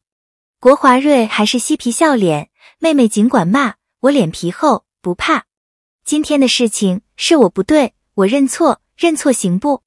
今晚我做东，大家尽兴，想吃什么想喝什么，别给我省钱，怎么浪费怎么造，成不？夏想不说话，心中暗笑。国华瑞还真是一条赖皮狗，一见惹不起傅先锋，立刻就变得了人模狗样，也有能伸能屈的一面，也算难得。转念一想，也是在京城之地，家族势力以及各种势力盘根错节，人在京城就得学会见风使舵，而且欺软怕硬也是所有人的共性。羽化上见事情就要不了了之，还是气不过插了一句：“夏想打人，他也打人，就这么算了，不是太吃亏了？”张秘书在一旁默不作声，他奉命前来救场，没有自主权，要听国华瑞的话或陈杰文的话。余画上说的话就被他直接过滤了。陈杰文和于文斌本想假装躲开是非，袖手旁观国华瑞收拾夏想一通，不料傅先锋横空杀出，不但化解了危机，还打了余画上一记耳光。陈杰文心中那个气，但碍于自身身份又不好发作，知道现在不是算账的时候，只好忍气吞声。于文斌却不干了，老爸被打是他当儿子的奇耻大辱。又仗着年轻气盛，风一样扑到傅先锋面前，好一顿拳打脚踢。傅先锋对付于画上还行，但和于文斌对打就太失身份了。他向后一退，让了一步，不料于文斌不依不饶，他就火了，正要不顾身份的还手，眼前人影一闪，夏想挡在了他的面前，一抬手就将于文斌推到了一边。于文斌不服气。还想发疯，夏想就轻描淡写的说了一句：“我劝你多动脑子，少动手。真要打架，你还真不是对手，别自讨没趣。”邱旭峰就向国华瑞使了个眼色，国华瑞就咳嗽一声，叫住了于文斌：“文斌，不要乱来，误会都是误会。眼下的形势，打是打不起来了，就看最后如何妥协，如何收场了。”邱旭峰见状，知道傅家得罪不起。夏想也得罪不起，就居中打圆场。既然是误会，大家就坐下好好谈谈，有话好好说。都是朋友，不必非要闹成僵局。再说，夏想以后还要和陈书记搭班子，和气才能更好的开展工作。傅先锋没理邱旭峰的话，回头感激的看了夏想一眼，点头示意感谢夏想替他解围。夏想也没拖大，微一点头回应。也没办法，人家亲妹妹在他身边，一直替他出头，他替傅先锋抵挡一下也是应当。邱旭峰的提议，夏想赞成，也是为了给邱旭峰一个面子，就说就听旭峰的，大家坐下谈谈，把事情说清楚，也好有一个说法。国华瑞顺坡下驴，立刻就说好说好说，要谈必须谈。今天我们也是不打不相识，也许以后还会成为朋友。如果说上面的话说的还是人话的话，下一句话就又露出了他的本质。夏哥，姐妹花就归你了，我保证以后只要是你看上的女人，我绝对不和你抢。怎么样，够哥们吧？朋友之间何必为了女人伤了和气？不值，不值呀！哈哈。国华瑞说的好听，实际上也包藏祸心，还是将夏想形容成为了和他争风吃醋的一路货色。是对夏想形象和声明的故意歪曲。傅仙仙啐了一口，胡说八道！你以为都和你一样是色狼，是混蛋？夏想就金银茉莉，是因为他们是我的好朋友，我是求他帮忙的。国华瑞，你在血口喷人，我和你没完！真是一个聪明的丫头。夏想暗中冲傅仙仙一点头，向他投去了感激的一瞥。傅仙仙莫名其妙的脸红了。明明知道自己在说谎，她多么希望夏想真的是因为他才为金银茉莉出头，而不是因为他认识金银茉莉。国华瑞一脸讪讪，转移了话题。正好到了饭点，走，我做东，大家都赏脸，到京城饭店吃顿便饭，坐下来谈一谈。夏想没有意见，邱旭峰乐意，傅先锋也觉得有必要，陈洁文也不好反驳，没人反对，就都点了头。于是各乘各的车就前往京城饭店而去。金银茉莉不便同行，就由萧武护送他们去宾馆。到了饭店，国华瑞很有气派的要了一个最豪华的包间。众人落座之后，他忽然接到一个电话，然后就郑重其事的宣布：“我爸、我叔还有燕省的梅书记正好也在京城饭店用餐，他们也要过来一下。”梅生平，怎么又扯上了梅家？夏想愣住了。第八百九十六章燕舞好宴。夏想的第一反应是：难道是国华瑞故意摆下鸿门宴，请出了国寒阳和国寒清，想要在气势上压人一头？难道不是服软，还想讨回说法？第二反应是：梅生平怎么也来了？莫非梅生平和国寒阳是故交？夏想就下意识看了陈杰文一眼。陈杰文自从傅先锋出面之后，一直没有说话。他也确实城府极深，在余化上被打，于文斌发疯的时候，始终一言不发，袖手旁观。作为一个女人，确实难得。尤其是她始终冷静的可怕，没有表现出任何失常的举动，隐忍。掌控全局，有心机，有度量。夏想对陈杰文的认识又加深了一层，知道他不好相与，和他搭班子，恐怕要事事顺着他的意，否则工作很难开展。无巧不巧，夏想和傅先锋、邱旭峰坐在一起，傅先锋在左，邱旭峰在中，他正好位于中间，似乎正合眼下的局势。而刚刚安排座位的时候，还出现了耐人寻味的一幕。本来邱旭峰和傅先锋的座位挨着，但邱旭峰却借故和夏想换了座位，就和傅先锋隔开了。看似无意，实际上也和眼下邱家和傅家矛盾加剧有关。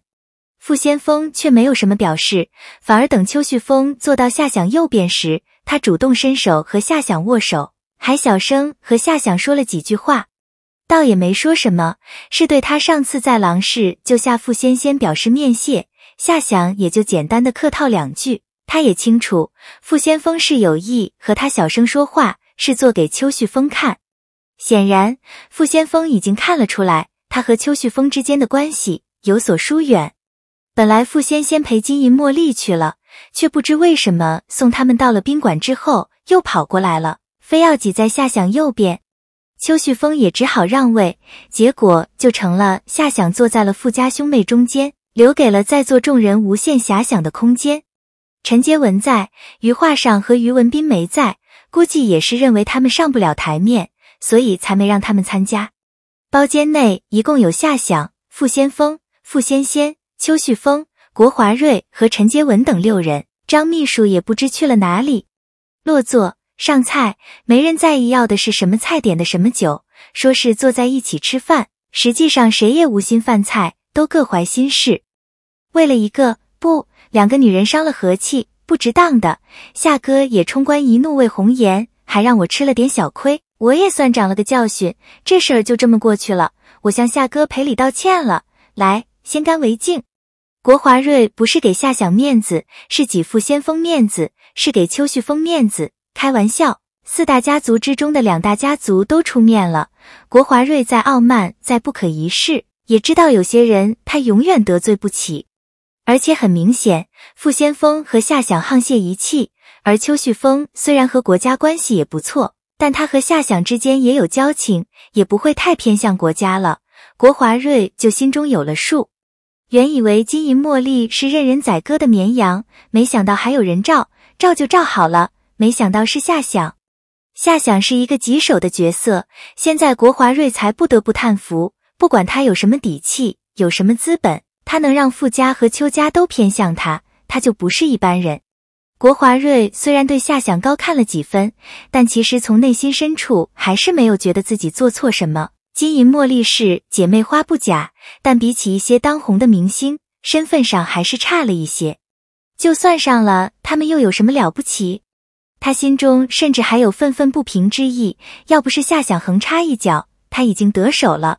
想想姐妹花玉体横陈。一夜双飞是何等的销魂，因此他认为他刚才的话已经算是给足了夏想面子，也算是给了傅家台阶，卖了邱旭峰人情。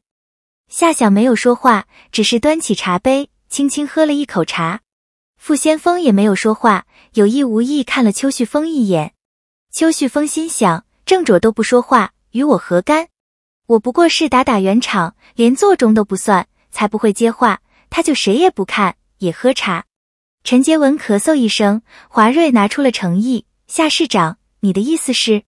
夏想喝了一口茶，刚放下茶杯，就一下抬起头，一脸惊讶：“啊，陈书记说什么了？不好意思，刚才走神了，没听清。”陈杰文面不改色，只是瞳孔微不可察的收缩了几下，很淡的笑了。华瑞提议：“事情就这么算了，陈家姐妹受了惊吓。”但也没有吃亏，华瑞倒是吃了亏。不过他气量大，吃点亏就吃了，吃一堑长一智吗？不得不承认，陈杰文会说话，很会说话，总能以一副不慌不忙的口气，始终掌控着主动权，并且让人认为他不但占理，还拥有道德的制高点。夏想就不得不说话了。我和陈默、陈丽不太熟，仙仙才是他们的朋友，我代替不了他们说话。如果他们非要报案的话，即使强奸罪名不成立，但要是成了新闻，国华瑞强压了半天的怒气又迸发了，一脸傲然。新闻？哪一家新闻媒体敢报道？就是哪一家新闻媒体未经许可敢胡乱报道？一人推门进来。不但是不请自来，还反客为主的来到主位，向在场众人一抱拳。听说今天犬子和大家闹了点误会，我特来向大家赔罪。华瑞年轻不懂事，又爱冲动，各位都有雅量，就高抬贵手，饶他一次。不用说，他正是国华瑞的父亲国寒阳。国寒阳长得浓眉大眼，极有官相，微胖，但给人的感觉很富态，而不是臃肿。说实话，国寒阳确实相貌堂堂，比国华瑞给人的观感好了太多，也会说话来事，起码第一印象就让夏想生不起厌恶之心。尽管夏想也清楚国寒阳刚才说的肯定不是真心话，众人都站了起来，就由国华瑞给几人介绍。其实除了夏想之外，都认识国寒阳。于是国寒阳和夏想握手的时间最长，话也最多，年轻。帅气，三十岁的市长，青年才俊，年轻有为。国寒阳不吝赞美之词，对夏想好一顿猛夸。随后又有两人推门进来，当前一人和国寒阳有几分相像，肯定就是国寒阳的弟弟国寒清了，中央政治局委员、政协副主席、党组副书记。后面的人正是梅生平。国寒清一进门，和国寒阳热情的寒暄不同的是，他的目光首先落在了夏想身上，然后目光飞快的傅先锋和傅仙仙身上一扫，又在邱旭峰身上轻轻一点，一瞬间就将局势尽收眼底。梅生平却是先和邱旭峰微微点头，然后看到了夏想的时候也笑了，但迅即注意到了夏想坐在傅家兄妹的中间，目光就又低落了下来。眼神很明显跳跃了一下，夏想无奈，他知道梅生平肯定误会了他的立场，以为他和傅家走近了。关键还有傅仙仙，就更会让梅生平想起梅小林，好吗？小小的一间包间里，不说有天泽市的一二把手，还有国油化的一把手，甚至还有中央政治局委员，以上都不让人震惊的话，四大家族之中的三家都聚集在此。只要让有心人知道，肯定会猜测出了什么样的政治大事。梅家、傅家和邱家不是一般的家族，是一举一动都引人注目的，既有政治实力又有经济影响力的大家族。尤其是在刚刚通过的省部级干部大调整之后，又重新划分了排名，此次聚会就更能引发外界的猜测了。当然，谁也不会猜到的是，其实三家会面起因是因为两个女人。确实的讲，是一对姐妹花。随后又是一番引荐和介绍。国寒青没和夏想多说什么，只是握了握手，简单照了一个面，甚至没有一句多余的话。和国寒阳的热情会说话相比，他寡言沉稳，威严有余，和气不足。梅生平和傅先锋、邱旭峰握手的时候，只点头没说话；只有和夏想握手的时候。随意晃了几下，手也握得不是那么正式，好像就是拉了一拉一样，表现出和别人不一样的亲热，也是有意在表明什么。他的举动就让国寒阳和国寒清都不免多看了夏想几眼。随后，梅生平又做出了更引人注目的举动，拉着夏想到一边，小声说起话来。夏想早就习惯了梅生平总有出人意料之举的套路，他也知道梅生平要问什么。就不等他开口，一五一十的和盘托出。梅生平点了点头，你的做法无可厚非。不过为什么没有通知我，却又和邱旭峰、傅先锋搅到了一起？这话就问的有点太直接了。梅生平不是夏想什么人，以省委副书记的身份，口气不对；以长辈的身份，似乎又有点过于热络了。夏想也不太好回答，有些内情不便透露。只好含糊其辞。傅先锋是因为傅仙仙主动出面，国华瑞打电话招来的。邱旭峰是我找他，想请他从中调和一下。梅生平拍了拍夏想的肩膀，不说了，不说了，我也不问你为什么要管金银茉莉的闲事了，那是你的个人私事，对不对？既然来到了京城，就抽空去看看梅婷。对了，小林也回来了，特意提到梅小林，梅生平用心不言而喻，夏想只好用沉默代表回答。这事你就听我的，就这么过去了，各退一步，面子上都好看。梅生平又强调了一句：“你马上就要到天泽市了，和陈杰文搭班子，开头不利呀。”夏想点了点头，没说话，心里有了主意。回到座位，还没有坐下，梅生平就敲了敲酒杯。等大家的吸引力都落在他的身上，他就说道：“今天我座中，过去的事情谁也不许再提，再提就是不给我面子。夏想和梅家的关系一向不错，我和他之间。”也有交情，我说的话他不敢不听。当然不是以省委副书记的身份，就凭我是他的长辈，我说什么他高兴得听，不高兴也得听。邱旭峰的不快写在脸上，傅先锋的不满写在眼中，两人都没有想到梅生平后来居上，由他出面做中调和，当了好人，而且完全没有提傅家和邱家的诉求，不是托大就是故意忽视。傅先先嘟囔了一句。梅家有面子，傅家也有。梅生平自然不会理会傅仙仙。他说完之后，一脸笑意的看向了国寒清和国寒阳。国华瑞是国寒阳的儿子，国寒阳似乎比国寒清还大度，哈哈一笑，何解何解。国寒清却想起了什么，目光温和的看着夏想。夏想，刚才你说想要把事件闹大，捅到新闻媒体，我就想问一句：几十家中央大报。你觉得哪一家会刊发这种鸡毛蒜皮的小事？语气也很温和，但言语之中隐含咄咄逼人之意。中央政治局委员夏想不是没有面对过，连吴老爷子一样的顶尖人物，他也能应付得来。国寒清想在他面前气势大外压他一头，没那么容易。夏想也不愿意和国寒清正面过招，就低调的说道：“让您见笑了，我当时只是随口一说，也是气话。”中央大报可能不会刊发一些八卦绯闻一类的消息，但现在网络太发达了，网民最喜欢追逐一些高官子弟的绯闻，尤其是现在，好像民间最痛恨官二代、富二代。有一种搜索叫人肉，就是通过名字能搜索到照片，通过照片能搜索到家庭成员，甚至连家庭成员的照片、姓名、职务什么的都能弄得清清楚楚。国寒清脸色变了。让他脸色更难看的是，傅先锋突然不阴不阳地说了一句：“我倒想提醒国主席一下，吴部长其实对夏想也很爱护。吴部长自然指的是中宣部部长吴才阳。别说国寒清脸色一变，陈杰文也是脸色大变，心中一阵收缩。四大家族今天三家汇集在一起，三家都和夏想有交情。”不是说傅家和夏想是死对头的关系，怎么现在好像变了风向？傅先锋也有了要维护夏想的意思。不止傅先锋的表现让陈杰文看不懂，梅生平意外出面做中要当调解人，也让他吃了一惊。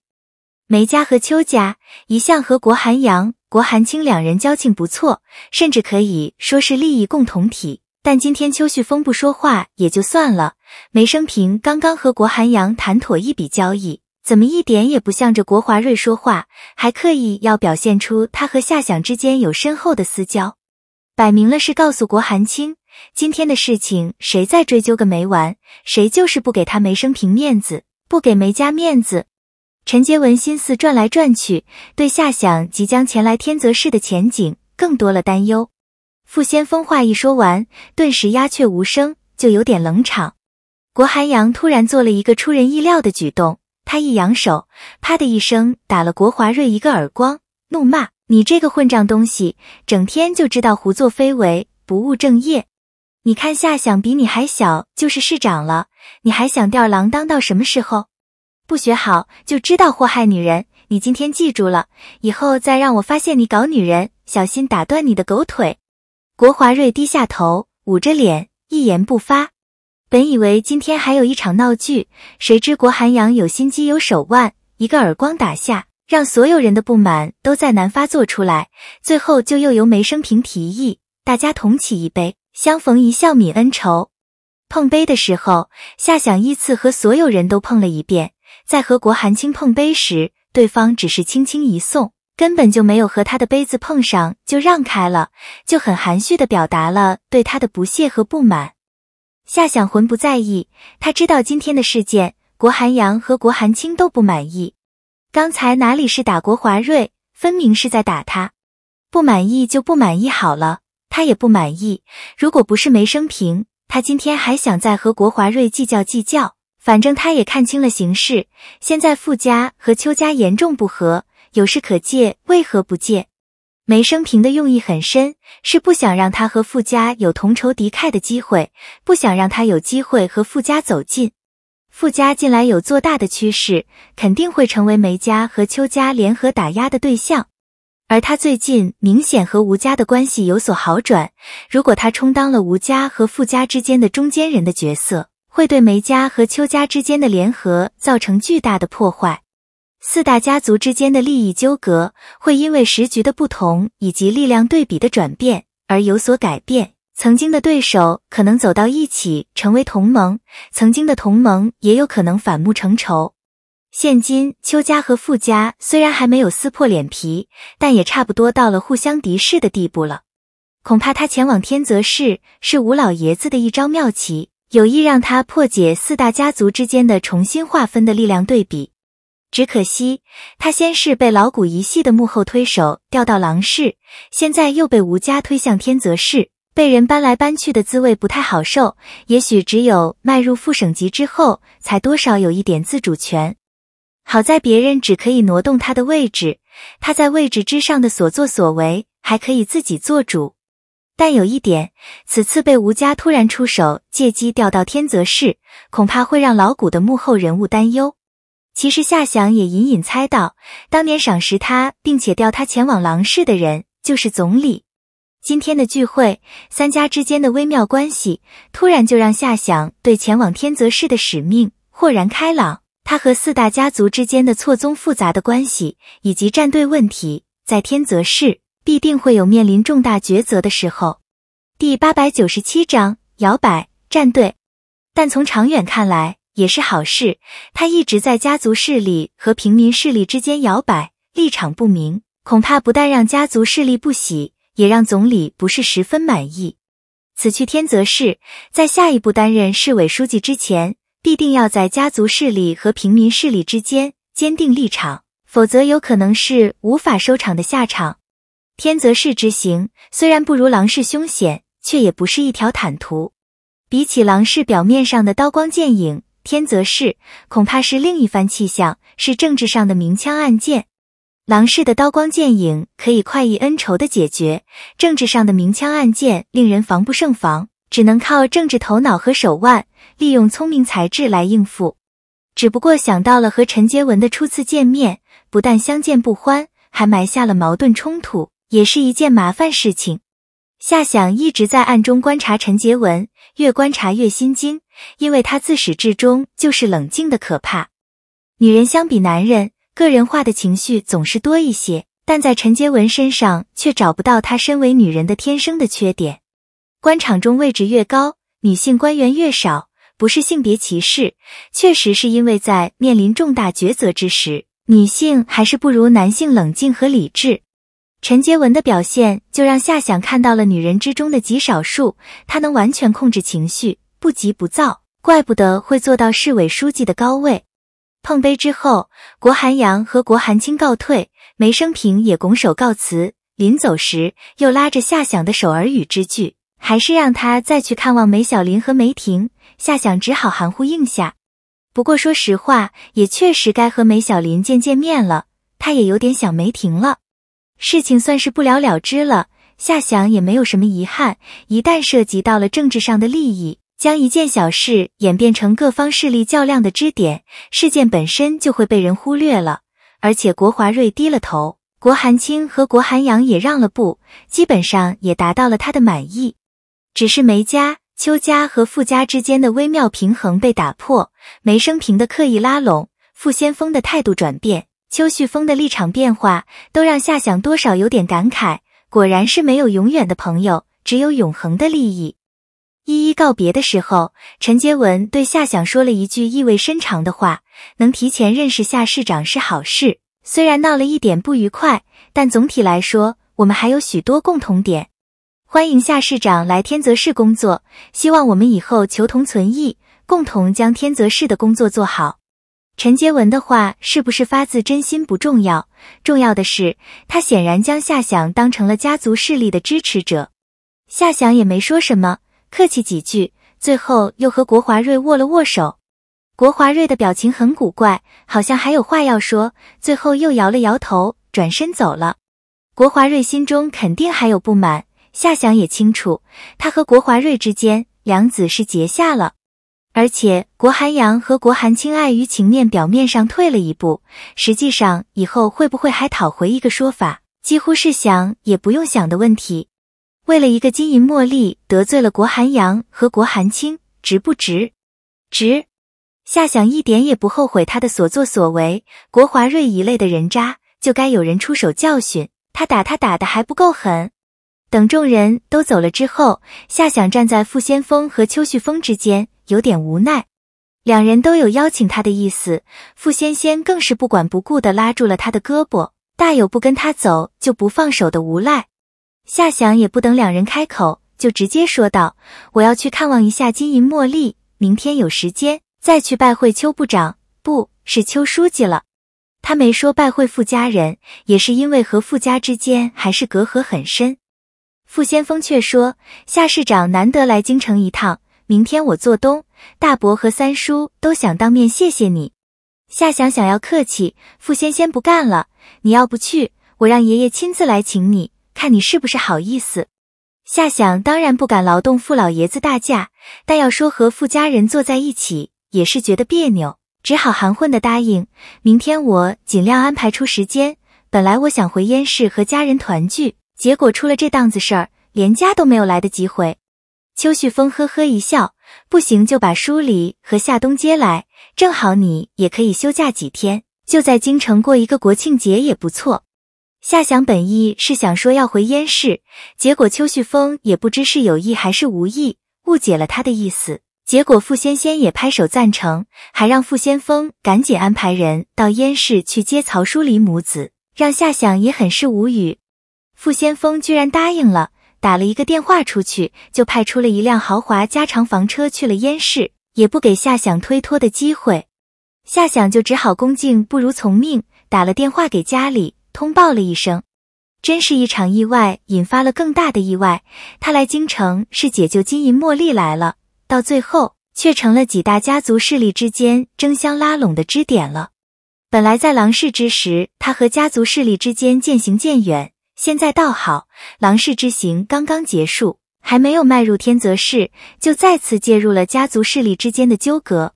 身在官场，总有身不由己的时候。告别邱旭峰和傅先锋，夏想在傅行仙的陪同下去看望金银茉莉。来到下榻的酒店，萧武和杨威都在。金银茉莉要的是一个大套间，萧武和杨威在外面守护，姐妹花在里面安睡。夏想一进来，金银茉莉就醒了。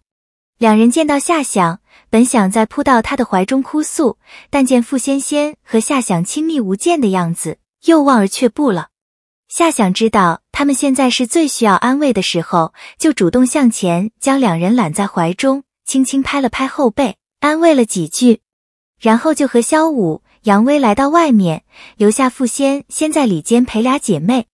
杨威已经将金银茉莉获救的消息告诉了欧那晨，欧那晨感激万分，只不过他已经被限制了行动，无法离开郎氏，否则早就第一时间赶来了京城。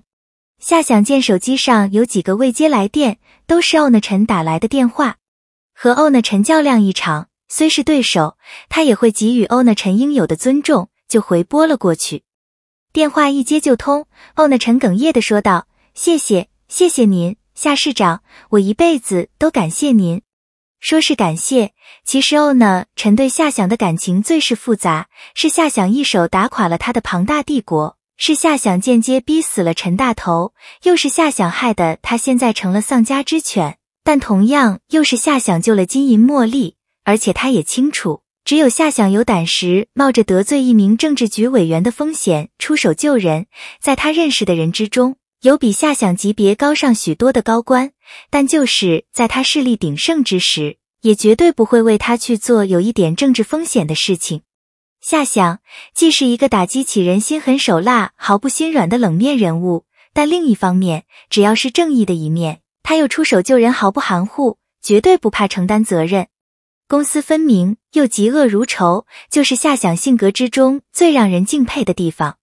我让人护送陈默、陈丽先回郎氏，他们现在的状态也不适合出国，他们需要家人的陪同。夏想也没有和欧娜陈过多的客气，他和欧娜陈之间没有交情可言，就金银茉莉，完全是出于公道的立场和他的为人原则。欧娜陈连声道谢。夏想让杨威和萧武负责送金银茉莉回郎氏。金银茉莉本来还矜持着，走了门口，两人心意相通，再也忍不住放声痛哭，同时扑入夏想的怀中，异口同声的叫道：“夏想！”只喊名字，没有具体内容，女人的心情流露无遗，而且叫得荡气回肠，就让傅仙仙在一旁又抹眼泪，又心里发酸，狠狠瞪了夏想几眼。对夏想女人缘太好，心中苦涩难言。女人都喜欢自己所爱的男人有女人缘，因为他越受女人欢迎，越证明他的魅力。但又不希望他的女人缘太好了，因为男人再有自制力，总有女人投怀送抱，难免会有被别的女人抢走的一天。傅仙仙心中患得患失，她很清楚自己现在的状况，她爱上夏想了。金银茉莉一走。房间内就剩下了夏想和傅仙仙。见时间还早，夏想就打算稍微休息片刻。今天太累了，奔波了半天，累人累心。晚上肯定还有应酬，先养精蓄锐再说。因为房间是套间，他就让傅仙仙在外间，他去里间。刚躺下，傅仙仙就又推门进来，小声问了一句：“上次我说过，如果我请你为我做一件事情，你答应说，只要你能做到。”是不是？是我说过。夏想很干脆的承认，他记得很清楚，当时是因为傅仙仙心结未解的时候，他答应了他，就调侃了一句：“傅小姐有何吩咐？”傅仙仙脸红了，靠在门口，不说进来，也不出去。夏想才注意到她上身只穿了一件衬衣，刚刚遮住了臀部，露出了下面雪白而修长的大腿。炫目、性感而迷人，就让他一阵眼花，忙收回了目光。估计下身只穿了内裤，夏想没来由，突然冒出一个不安分的念头，忙收回心思，心里清楚傅仙仙是在有意引诱他。男人最喜欢女人穿衬衣露大腿的样子，最诱人，最性感。傅仙仙咬着嘴唇，眼睛中就有了雾水一样的湿润，还有许多复杂莫名的情绪。他迟疑了一会儿，脚步又向前迈了一步，却又慢慢的收了回去，又退到了门口。我上次说要帮你拿到古相国的证据，对不起，我笨手笨脚，还是没拿到，让你失望了。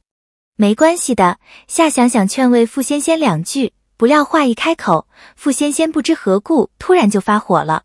你不懂，有关系的就有关系。他的眼泪一下涌了出去。我没用，没能替你做成一件事情。我就是一个没人疼、没人爱、没人在意的疯丫头。他夺门而出，留给夏想一个毅然转身离去的窈窕背影，除了让人遐想之外，更让人心中怅然。夏想睡了整整一个下午，晚上六点多的时候被人叫醒了，是萧武。萧武和杨威已经从郎氏返回，来到房间一看，只有夏想一人在酣睡不醒，外间床上。只有香味没有美人，两人就心照不宣的相视一笑。不多时，曹淑离母子赶到了，陪同他们一起的不是富家人，却是连若汉。夏冬一见夏想，就扑到了夏想怀中，激动的大叫：“爸爸，爸爸！”儿子发自内心的呼唤，让夏想心中愧疚。他太忙了，和儿子在一起的时间太少了。也许等儿子长大后，在他的童年记忆中。爸爸只是一个模糊的影子。曹淑黎穿了一身长裙，头发简单的挽在后面，随意而大方。今年将近三十岁的她，身材一点也没有走样，还是和夏想初见她时一样，不胖不瘦，匀称而修美。她一脸笑意，有幸福，有甜蜜，只盯着夏想，目不转睛的看，就让他一瞬间如同回到了几年前和他一起在家家超市工地上的情景。人生若只如初见的感慨，顿时在心中蔓延。而连若汉穿了一条中长的白裙，也许是巧合，也许是不约而同的心意相通。她的裙子和当年夏想和他在国际大厦之中迷乱而情迷的一夜之时所穿的裙子一模一样。虽然不是同一条，但款式几乎完全相同。夏想望着眼前两位人比花娇的女人，他一生最爱的两个女人。幸福就一下弥漫了全身，萧武和杨威早就识趣的退了出去。夏想一时情动，仿佛回到了他和曹淑离、连若汉初识时的时光，就做出了一个最大胆的举动，上前将两女全部抱在怀中，而且还很用力。曹淑离脸红了，将头伏在夏想的肩头，没有说话。连若汉脸也红了，轻轻推了夏想一把。想躲开，却还是半推半就靠在了他的肩膀之上，然后咬着夏想的耳朵小声说：“美死你！”最让夏想惊讶的是，曹淑离也紧接着说了一句：“美死你！”两美入怀，人生之幸事。夏想哈哈大笑，正要说两句感慨，忽然觉得腿上一疼，然后又被人推了一把，力气不小，竟然让他后退了两步。低头一看，是夏冬。夏冬气呼呼的看着夏想。坏爸爸，臭爸爸，东东不喜欢你了，不许你抱别人，只许你抱妈妈。得，老婆没吃醋，儿子反而吃醋了。夏想哭笑不得，却惹来曹淑离和连若汉一阵好笑。七点多一点，傅先锋和邱旭峰分别打来电话，要请夏想吃饭。夏想都婉拒了，因为连若汉带来一个让他震惊的消息：今天晚上吴才阳要和他吃饭。吴才阳一直对他十分冷淡，突然提出要和他一起吃饭，而且还是不容拒绝的口气，就让他十分怀疑是临时的决定，肯定和今天与梅、傅、秋三家会面有关。夏想不能不赴约，因为吴才阳不仅仅是中宣部部长，他还是吴家最中坚的力量，是连若汉的亲生父亲，同时也是未来的吴家的接班人。本来连若汉盛情邀请曹淑离住在他的别墅之中，曹淑离却婉拒了，一是不太方便，二是也为了避嫌，连若汉也就没有勉强。晚上他就请曹淑离吃饭，夏冬还不高兴，不太想去，对他大有意见，就惹得他笑个不停。夏想见时间差不多了，就开车前往清轩阁。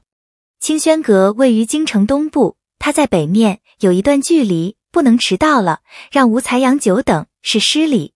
清轩阁从外面看很像一家茶楼，其实也确实是茶楼，不过也提供一些可口的点心以及不多的中西结合的饭菜，主要是环境优雅而舒适，很有品味，没有寻常饭店的寒暄。夏想紧赶慢赶，还是让吴才阳等了十几分钟，不过吴才阳并没有流露出不耐烦的神情。他正悠然自得地在房间内看一份报纸，似乎很有雅兴的样子。房间不大，弥漫着悠扬的轻音乐，布置的很舒适，不像吃饭的地方，倒想谈心的场所。夏想先是表示了歉意，然后就坐在了吴才阳的对面。京城的交通越来越头疼了。吴才阳的开篇比夏想想象中更随意一些，天天堵车，就没有不堵的时候。京城市长没少因为交通问题被国务院质疑，但也没有办法，人口激增，私家车越来越多，道路资源有限，能不堵？任何一个朝代都是由顺治到严治，再到堵治。国内最近十几年发展太快了，超过了城市和土地的承受能力。吴才阳的感慨不像一个中宣部部长的感慨，倒像国务院总理的口吻。夏想就接过话说：“燕市现在也开始堵车了，堵车是一个世界性难题。国外的大城市也经常发生几十公里堵车的壮观场面。城市的产生是为了追求更舒适的生活，但城市发展到一定程度也会生病，就是城市病。想要根治城市病，现在好像还没有什么好办法。等我老了，一定要到乡下去养老。京城这地方不是一柱城市。”吴才阳难得在夏想面前露出笑容，他甚至还亲手为夏想倒了一杯茶。其实根治城市病也有办法，就是建设大城市圈，发展高铁，利用交通的便利优势，把生活区、工作区和功能区区分开来，就会大大缓解高峰时的交通压力。一见面就谈一些大而广之的问题，夏想也就顺着吴才阳的话向下说，聊了十几分钟之后，开始上菜了。菜品不错，淡雅精致，不过量很小，和刚才的谈话一样，讲究就是浅尝辄止。一上菜，吴才阳就话题一转，单刀直入：“夏想，你在家族势力和平民势力之间该站队了。”第八百九十八章理念人情。夏想的手就放在茶杯上，不停地转动茶杯，目光却落在吴才阳身后的一幅画上，是一幅山水画，画的是一位老翁在漫天风雪之中，在一处人迹罕至的山中的寒江之上，乘着一叶孤舟，独自垂钓。画很有韵味，远山模糊，只有老翁的形象十分清晰，还有漫天飞舞的雪花，衬托出一种孤寂、清高、举世皆浊我独醒的沧桑。落款还有题诗，正是柳宗元的诗作《江雪》：“千山鸟飞绝，万径人踪灭。孤舟蓑笠翁，独钓寒江雪。”这幅冰天雪地独钓图不错，意境辽远。不过老翁冒着天寒地冻，一个人在深山老林、漫天风雪之中，可不仅仅是为了钓鱼，而是在等待机会。他钓的是心境，甚至可以说是在沽名钓誉。夏想没有正面回答吴才阳的问题，而是谈论起了墙上的画。吴才阳显然是常客，他不用回头就知道就知道身后是什么话，笑了。柳宗元被贬谪永州，心情自然不是很好，就写了这首《江雪》，实际上是在借景抒怀。文人嘛，自认有风骨，有气节，但归根结底还是一句话：学成文武艺，卖与帝王家。话又说回来，永州位于现在的湖南，属于亚热带季风气候，山中不会有这么大的风雪。就说是柳宗元的艺术虚构好了，不过也说明了一点，他政治敏感度不够，被贬是因为他没有站好队，没有人替他说好话。以古喻今，说来说去还是站队问题。夏想也笑了，有时刮风，有时下雪，但通常情况下是风雨交加，风雪好像是两股势力。但也是你中有我，我中有你，密不可分。吴才阳一愣，随即摇头一笑，话有点道理，不过还是狡辩：风是风，雪是雪，就算风雪交加，也是风有风的力量，雪有雪的威力，怎么可能混为一谈？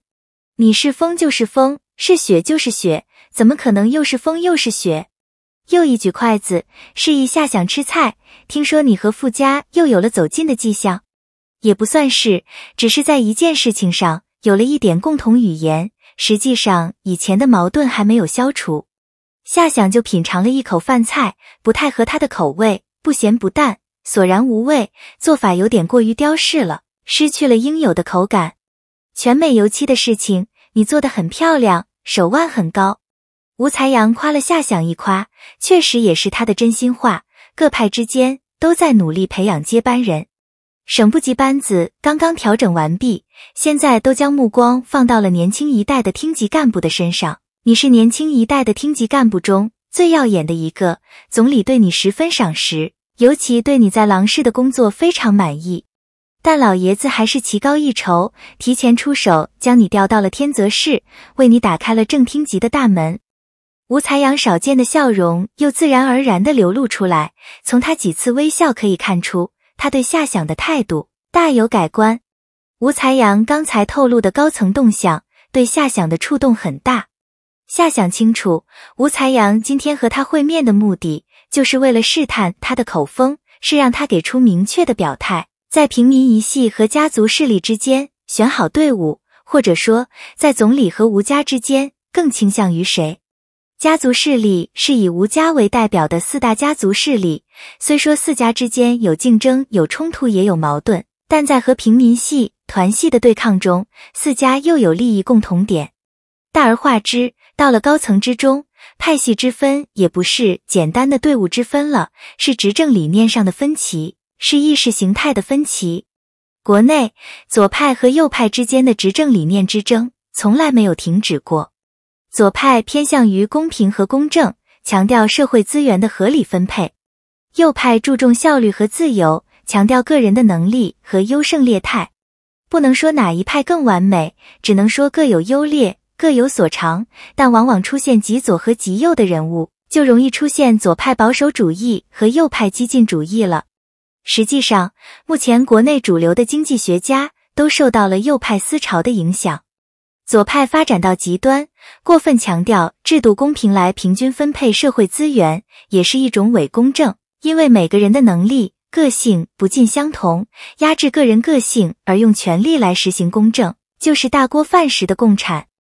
右派发展到极端，过分强调自由和个人能力，而忽视每个人应承担的社会责任，就成了伪自由。因为自由过度就会妨碍到别人的自由，就如美国以推行所谓的民主为由，以武力推翻别的国家的政权，就是一种极端的伪自由和虚伪的公正。极右制度通常表现为权贵资本主义和寡头专政。目前国内的状况还不太明显，再过几年，夏想很清楚的是，国内的权贵资本主义就开始抬头了。就有相关的专家直接指出，国内已经初步进入了权贵资本主义时代。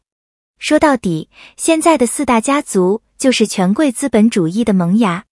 毫不夸张地说，就是眼下的国内。也正处于权贵资本主义蓬勃壮大的时期，比如逐渐形成规模的官二代、富二代，比如越来越让人诟病的官员的孩子永远是官员，穷人的孩子永远是穷人的制度上的缺失，长此以往，终将造成阶层的对立。社会一旦形成阶层，形成敌对的阵营，就离崩溃不远了。夏想出身草根，深知普通百姓想凭借自己的努力爬向高位。无疑是痴人说梦，没有靠山，没有后台，在无人赏识，在国内的官场之上，再有能力，最终还是为他人做嫁衣裳。站在公正的出发点上，他的政治立场其实更倾向于平民一系。但家族势力也并非没有可取之处，而且现在已经壮大到了影响政局的程度，也只能说明国内有其生长的土壤，只能合作而不可能打压。因为已经成长为一只谁也无法压制的庞然大物了。尽管夏想心中还没有清晰的脉络，但他也多少有了自己的政治理念。恐怕在国内能同时和平民势力、家族势力都保持着良好关系的人，只有他一人而已。既然拥有了如此得天独厚的条件，他本身又有许多优势，有多大心尽多大力。他希望在他以后的政治道路上，能有以前的四大家族之间的支点，成为以吴家为首的家族势力和以总理为首的平民势力之间的支点。今天和吴才阳的会面，以一幅山水画说开来，最后还要落到实打实的战队之上。夏想也清楚，他必须给吴才阳一个确切的回答，否则有可能面临着政治上的一脚踏空。因为他今天和三大家族之间的会面，甚至包括今天晚上和吴才阳的面谈，都会传到总理的耳中。再加上他此次调动是吴家的手笔，总理对他是不是看法大变，他心里没底。有一点让他懊恼的是，下午只顾着睡觉了，没来得及和老谷通话，打探一下总理的口风。不过夏想一瞬间还是下定了决心，他不是左右摇摆、没有决断之人。不管总理是不是对他有看法，他现在也必须和吴家走近，因为时机成熟了。有时间，我想当面谢谢老爷子，感谢他老人家一直以来对我的关照。他老人家年纪大了，以后我也想多看望看望他。夏想给出了吴才阳想要的答案。吴才阳满意的笑了，老爷子也早就想让你到家中做客，只是条件一直不太成熟。现在我看时机正合适。国庆期间就安排一次家宴，你也别回燕市，就在京城过节算了。夏想就点头应下，那好，少不了要麻烦吴部长。呵呵，吴才阳开心的一笑。才江也要回京，还有若天，他们都想和你聊聊。今年就好好过一个热闹的国庆节。将欲取之，必先予之。夏想不是向家族势力投诚，只是一次将错就错的顺水推舟。告别吴才阳，夏想见已经晚上十点多了，想了一想，就没有再给老谷打电话。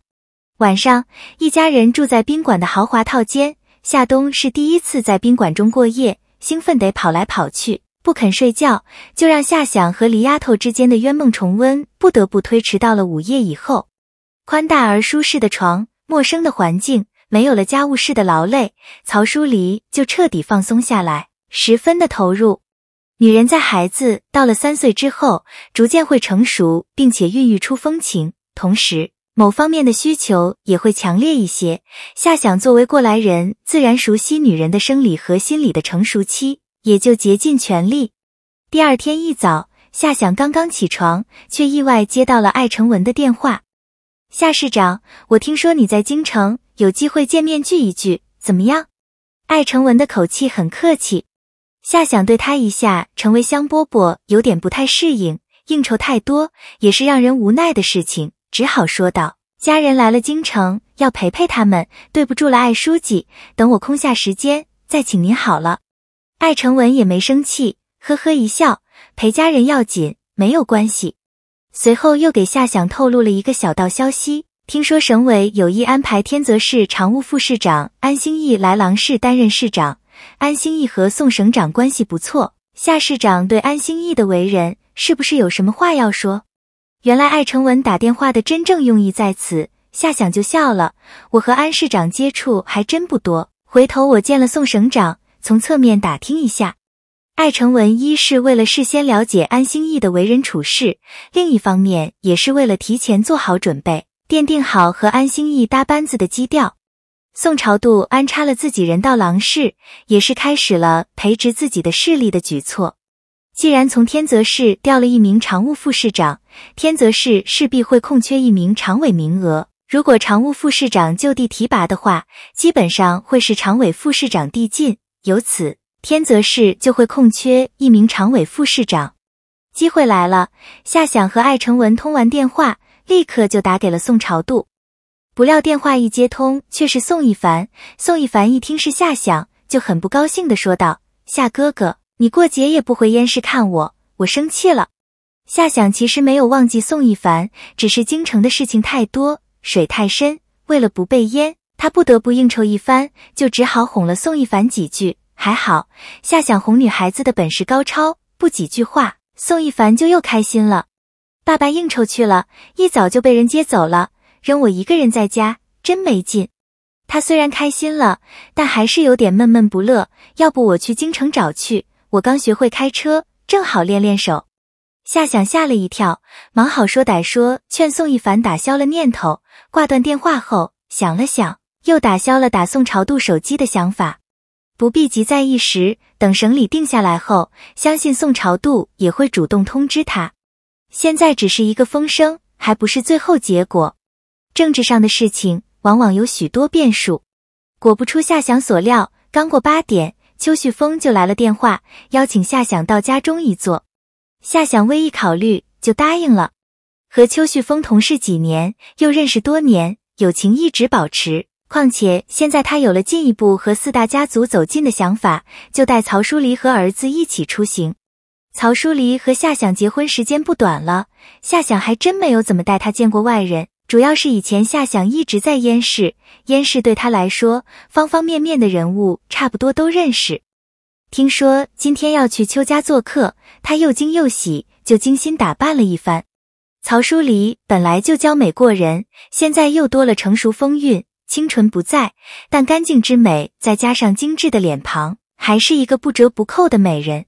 夏想见她稍微打扮一番就光彩照人，不由夸道：“到底是我的夫人拿得出手。”曹淑梨无限娇羞，还没说话，夏冬就挤到了两人中间。他穿了西装，打了领带，小小年纪也西装革履，显得既正式又好玩。仰着小脸问：“爸爸，我能拿得出手不能？”“能。”夏想一下，抱起儿子，在爸爸的心目中，儿子最帅的一个，比妈妈还帅，帅帅多了。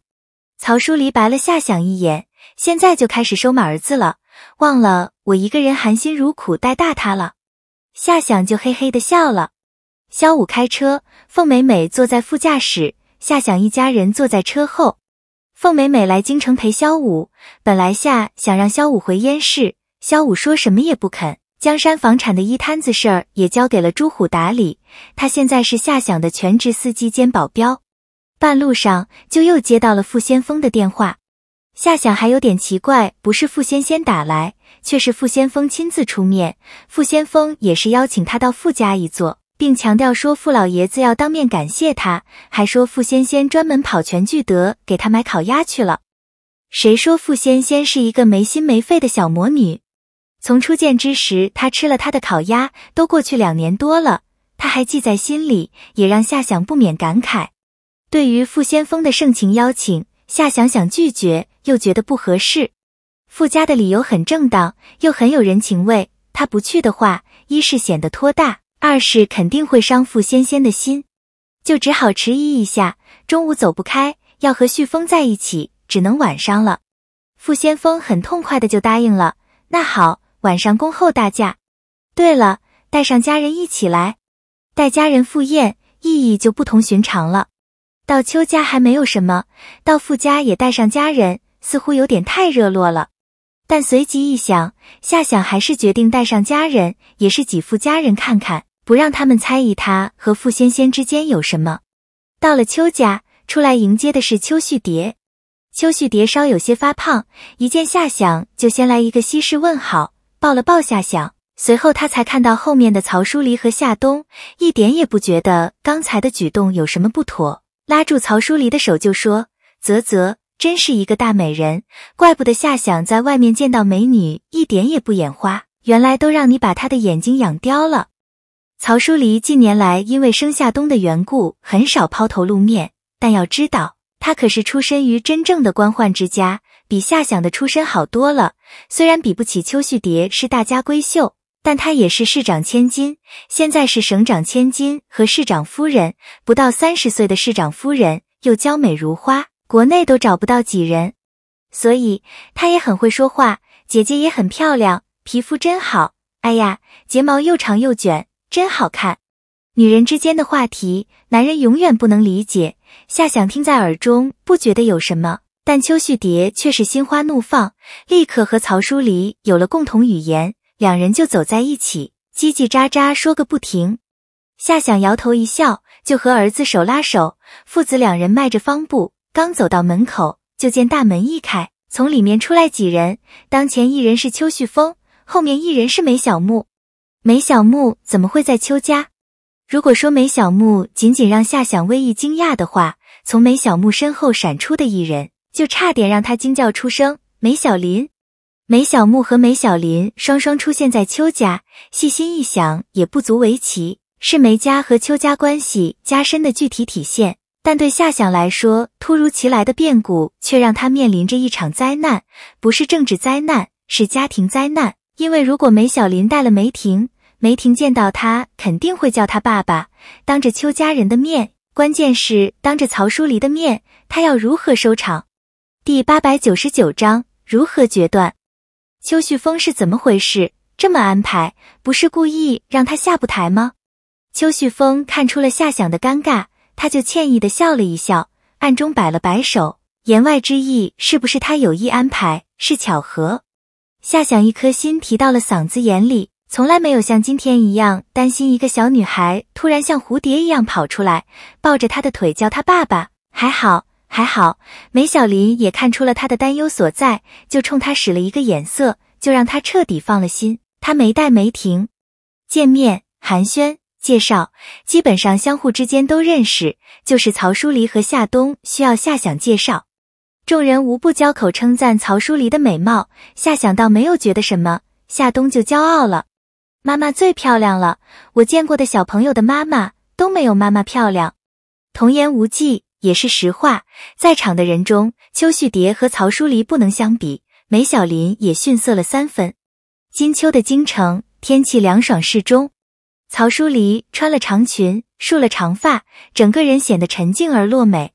梅小林则是很中性的打扮，也符合她的身份。在夏想眼中，梅小林稳重了许多。也让他的女人味少了一些柔美。官场是一个很历练人的地方，梅小林一旦醉心于仕途，她就会被官场之气掩盖女人韵味，会缺少柔性美，而多了冷淡和刻板。官场上不允许一个娇艳的女性官员花枝招展在讲台上面讲话。还好，梅小林见到夏想，只是微一点头，没有表现出任何异常。握手之后，他就和曹淑黎说了几句话，远不如邱旭蝶对曹淑黎热情，而是淡然而疏离，符合他的现在的身份。是呀，听说梅小林现在深得正圣赏识，他已经提了副厅，有望在三年之后扶正，至少会外放成一市之长，可谓前途远大。几年之后。就会成为国内政坛上一颗耀眼的女性干部之星。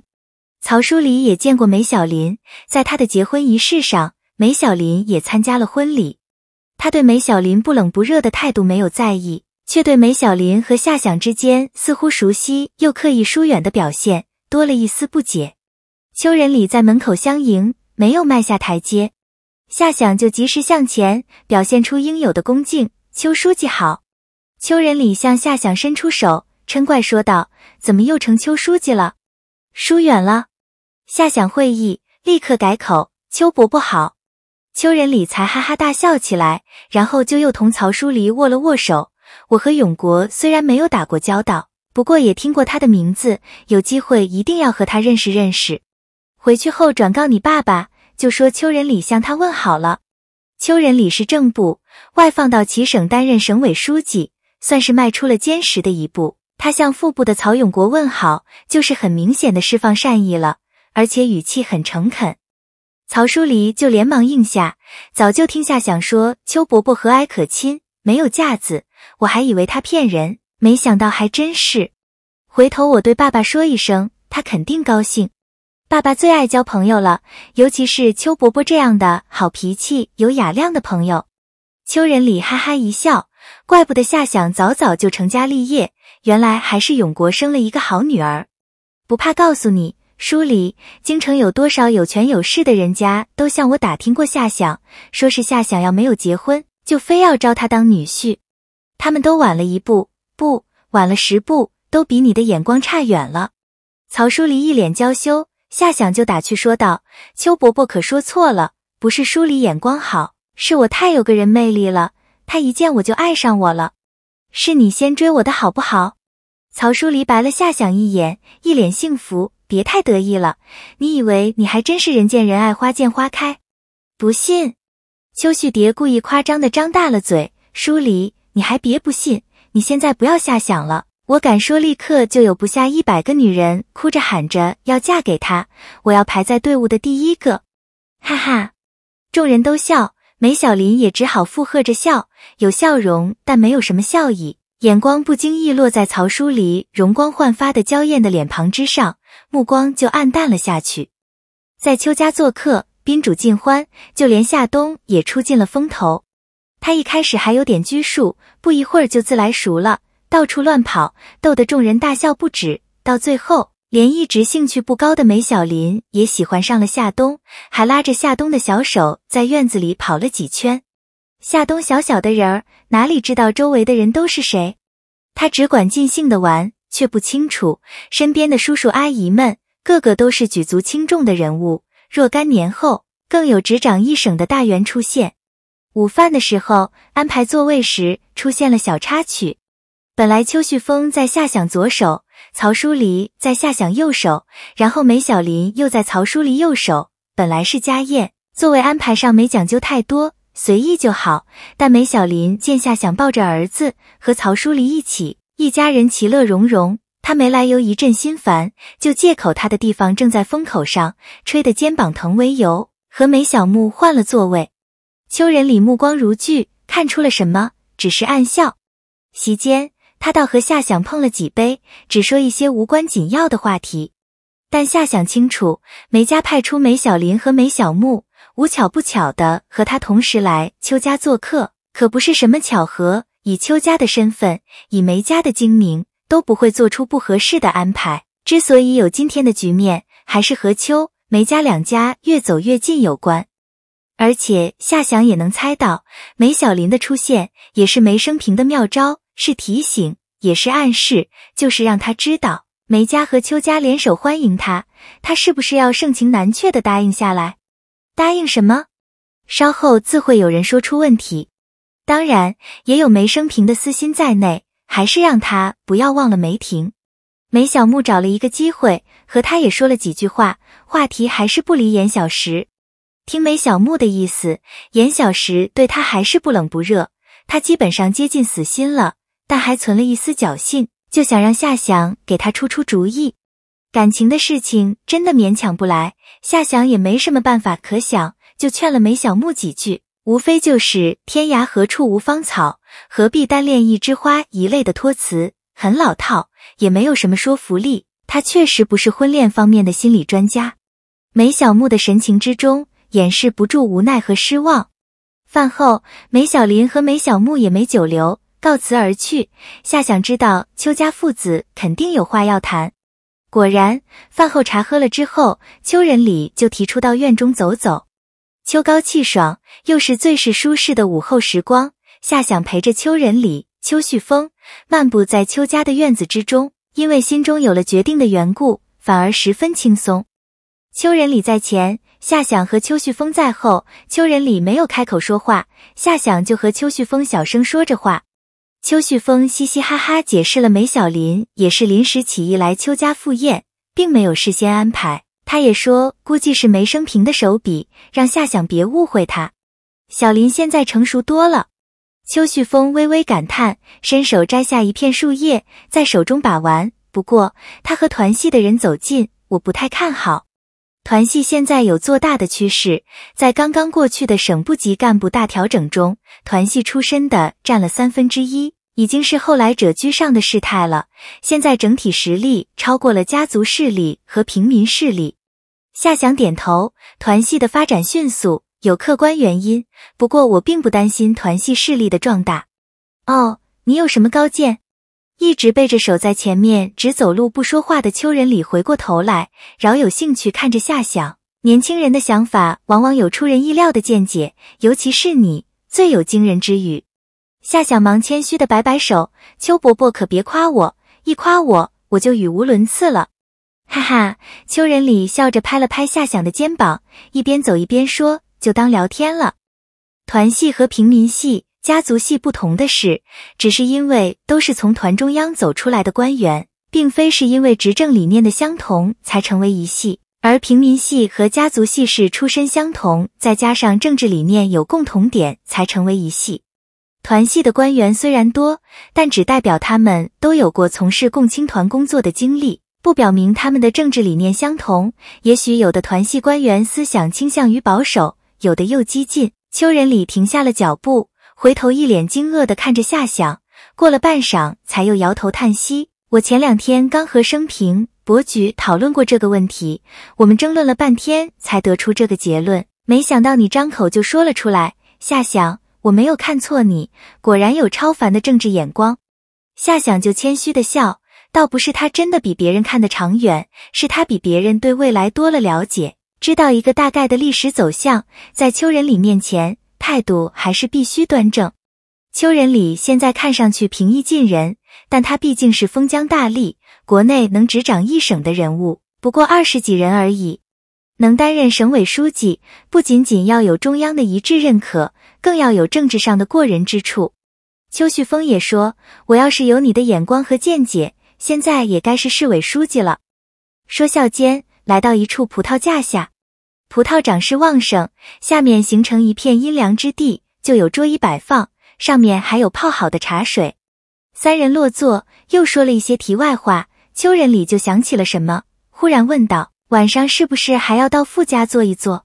没什么好隐瞒的，夏想就点头。你在狼氏做的确实不错，打击黑恶势力就要有非常之举，一般人做不到。不过有人把你扔到狼氏，让你自生自灭。有点说不过去了，还是吴老爷子厉害，关键时刻出手，又扳回了一局。我给你一句忠言，你和邱家、梅家、傅家、吴家关系都不错，是天大的好机会，一定要抓住，别再走弯路了。狼氏的弯路太凶险了，差点毁了你。平民系和家族系培植人选的手法不同，因为平民系的人大都是自己一路拼搏。从底层再到上层，就非常注重个人能力，强调个人素养。家族势力有不少人是太子党出身，身后都有庞大的家族势力照顾，遇事就会向上求援。秋人里的言外之意是，跟着平民系，说不定什么时候就栽了跟头，因为对方在关键时刻不会伸手拉你一把，只让你自己走出困境，风险太大了。政治风险有时只要有一次失误，就是万劫不复。平心而论，秋人里的话也不无道理。官场中人无一不是小心谨慎，如履薄冰，都想一步一个脚印，不肯弄险。诚然，弄险虽然风险大，但有时收益也大，是正比的关系。不过说白了，夏想也不想弄险，也想脚踏实地的做实事、做正事。但在郎氏的弄险，他身不由己，被人调到郎氏之后，就一脚踏入是非地，不得不双手推开生死门。四平八稳的升迁，人人都想要，就是夏想也不敢自认他就能总是算无遗漏，然后有惊无险的过关。在郎氏，他差点被人害死，不奋起反抗都不行，只能以暴制暴，毫不手软。也有几次半夜惊醒，他也是吓出了一身冷汗。身在其中，各中滋味不足为外人道也。每个人都有脆弱的一面，夏想也是。在郎氏最激烈的冲突之时，他何尝没有向老谷求助，借过势也借过力。没办法，别人都有后台有靠山，他只凭自己单枪匹马，想要撼动一座大山，根本没有可能。从内心来讲，他不敢说对总理一直坐视不理有什么不满，但至少事后想想。也确实几次险而又险之时，如果有来自高层的支持，步子肯定会迈得更大一些，他也会减轻许多压力。邱仁礼很聪明，一眼就看出了他在郎氏的凶险和需求。如果完全倒向家族势力，不提邱家和梅家的帮助，就是吴家也会不遗余力的扶他，他的路子肯定会走得很稳很顺。只不过完全依靠了家族势力，也是一条不归路。他如果是由家族势力一手扶植而壮大，那么他必须完全听命于家族势力，成为家族势力和平民势力之间的排头兵。再长远一些看，甚至会成为家族势力的接班人。而且按照现在家族势力的政治理念，势必会成为站在普通百姓利益对立面的代言人。夏想出身草根，不想为了一己之私，成为千夫所指的权贵资本主义中的一员。而且在他的政治理念之中，权贵资本主义需要引导，需要寻找一条最适合国内政治土壤的道路，顺应历史潮流，并且为国家的壮大做出表率。否则，只是一味的壮大，一味的和普通百姓对立，就容易引发社会的失控。去天泽市是一个好机会。邱仁礼又语重心长的说道：“陈杰文和邱家的关系也说得过去。”国寒阳和国寒清和邱家关系也很不错，和梅家更是通家之好。你虽然和国华瑞闹了一点矛盾，但也是不打不相识，不用放在心上。不用放在心上的另一层含义是，只要夏想保持倾向于家族势力的立场，国寒阳和国寒清就绝对不会为难他。谢谢邱伯伯的教诲，我记下了。夏想很诚恳地接受了邱仁礼的话，他现在要的是听取各方意见。从中收获有益于自己进步的观点，不去反驳，不去分辨。邱仁礼站起身来，听说永国在西省的工作还算顺心。曹永国现在是常委副省长了，在西省的政府班子里排名第三，虽然在常委中的排名还比较靠后，也算迈出了可喜的一步。主要也是夏想上次就游资炒煤一事，给他出了一个行之有效的主意。他在省政府一提。立刻得到了邢端台的热烈响应，并且付诸了实施。实施之后，预期超过了想象，西省大有斩获，而且还让文州的游资吃了一个哑巴亏。曹永国身上就有了耀眼的政绩，再加上邢端台的力挺，他在西省的地位日益巩固。夏想就答了一句：“还说得过去。”邱仁礼就眯着眼睛笑了，说不定有一天我还有机会和永国搭班子唱戏。在回去的路上，夏想就一直琢磨着邱仁礼的话。岳父现在是副省，要和邱仁礼搭班子唱戏，就得是一省之长。难道说邱家有意要拉岳父一把？很有可能。邱家在省部级干部的调整中失势，必然想重新夺回阵地，但想打破现有的格局也不可能。只有从现有的副省级之中挑选兵备力量了。岳父既有能力，又没有被各派拉拢过去，正是最合适的人选。关键还有，拉拢了岳父，也就等于变相将他绑在了邱家的战车之上，一举两得。都是人老成精的人物，夏想无奈一笑，回头好好劝劝岳父，如果有人拉拢的话，先不要急着表态，坚持一下，看清形势再站队。刚回到宾馆，还没有休息片刻，傅先锋的电话又打了过来。夏市长，家宴准备好了，我派人去接你。不用，我一会儿就赶到。夏想不敢劳动傅家再来接他，傅家姿态越低，他心里越忐忑。就算是打着感谢他救了傅仙仙的幌子，也是有点热情过度了。毕竟他和傅家之间有过不可调和的矛盾。到了傅家，已经是华灯初上时分，傅家灯火通明，笑语声声。傅先锋亲自出来迎接。算是给足了夏想面子，一进门就又出现了让夏想惊讶的一幕，紧跟在傅先锋身后的人竟然是吴若天。吴若天一脸笑意，他的身后还有一名中年男人，长得和吴才阳、吴才江有几分相似，正是夏想从未见过吴家的老大吴才和。第九百章互动异常，一天之内接连遇到两件让他吃惊的事情。夏想就知道，一场省部级干部的大调整，不仅重新让四大家族之间的排名有所变化，更让四大家族之间原有的对立和联合关系增加了新的互动和变数。但又一想，实际上梅家和邱家之间原本就走得相对来说近一些，主要是傅家和吴家之间的迅速走近，有点出乎夏想的意外。在夏想看来，吴家一家独大，与其他三家来往不多。颇有高人一等的意味，而且以前和傅家两次合作，两次都摆了傅家一道，傅家不记恨在心才怪。但现在吴才和和吴若天父子同时出现在傅家，还和傅先锋一起出来迎接他，透露出来的意义就非同寻常，就表明了吴家现在和傅家之间的关系绝对有了坚实的合作基础。傅先锋和夏想握了握手，也没介绍吴才和，就错开一步，让吴若天和夏想寒暄。他见到夏想一人前来，没有带家人，眼中流露出一丝复杂的情绪。夏想最终决定不带曹淑离和夏冬，也是出于谨慎乐观的考虑。他和傅家之间共同语言不是很多，没有必要一下走得过近，多一些缓冲也好。夏想握住吴才和伸过来的手，没有称呼职务。吴伯伯好，吴才和打量了夏想几眼，一脸慈祥。若天没少在我的面前说你的好话，我就让他多向你学习。全美期的一仗打得非常漂亮，我都不敢相信这么年轻的一个人手法怎么这么老道。吴才和的眼睛微微眯着，他说话的时候一直是笑眯眯的表情，给人的感觉很温和，和吴才阳的强势。吴才江的圆润完全不同，他就像一个没有一点架子的长辈，让人感觉到亲切。但在官场之上，往往有时又需要一点架子，需要一点拿捏，否则别人就不会高看你一眼。除非你做到了顶尖的位置，你没有架子就是平易近人，就是心系苍生。但在厅级，哪怕是省级，也必须要维持一种神秘和疏远，才能保证应有的权威和尊重。或许吴才和太随和太慈爱了，让人生不起畏惧之心。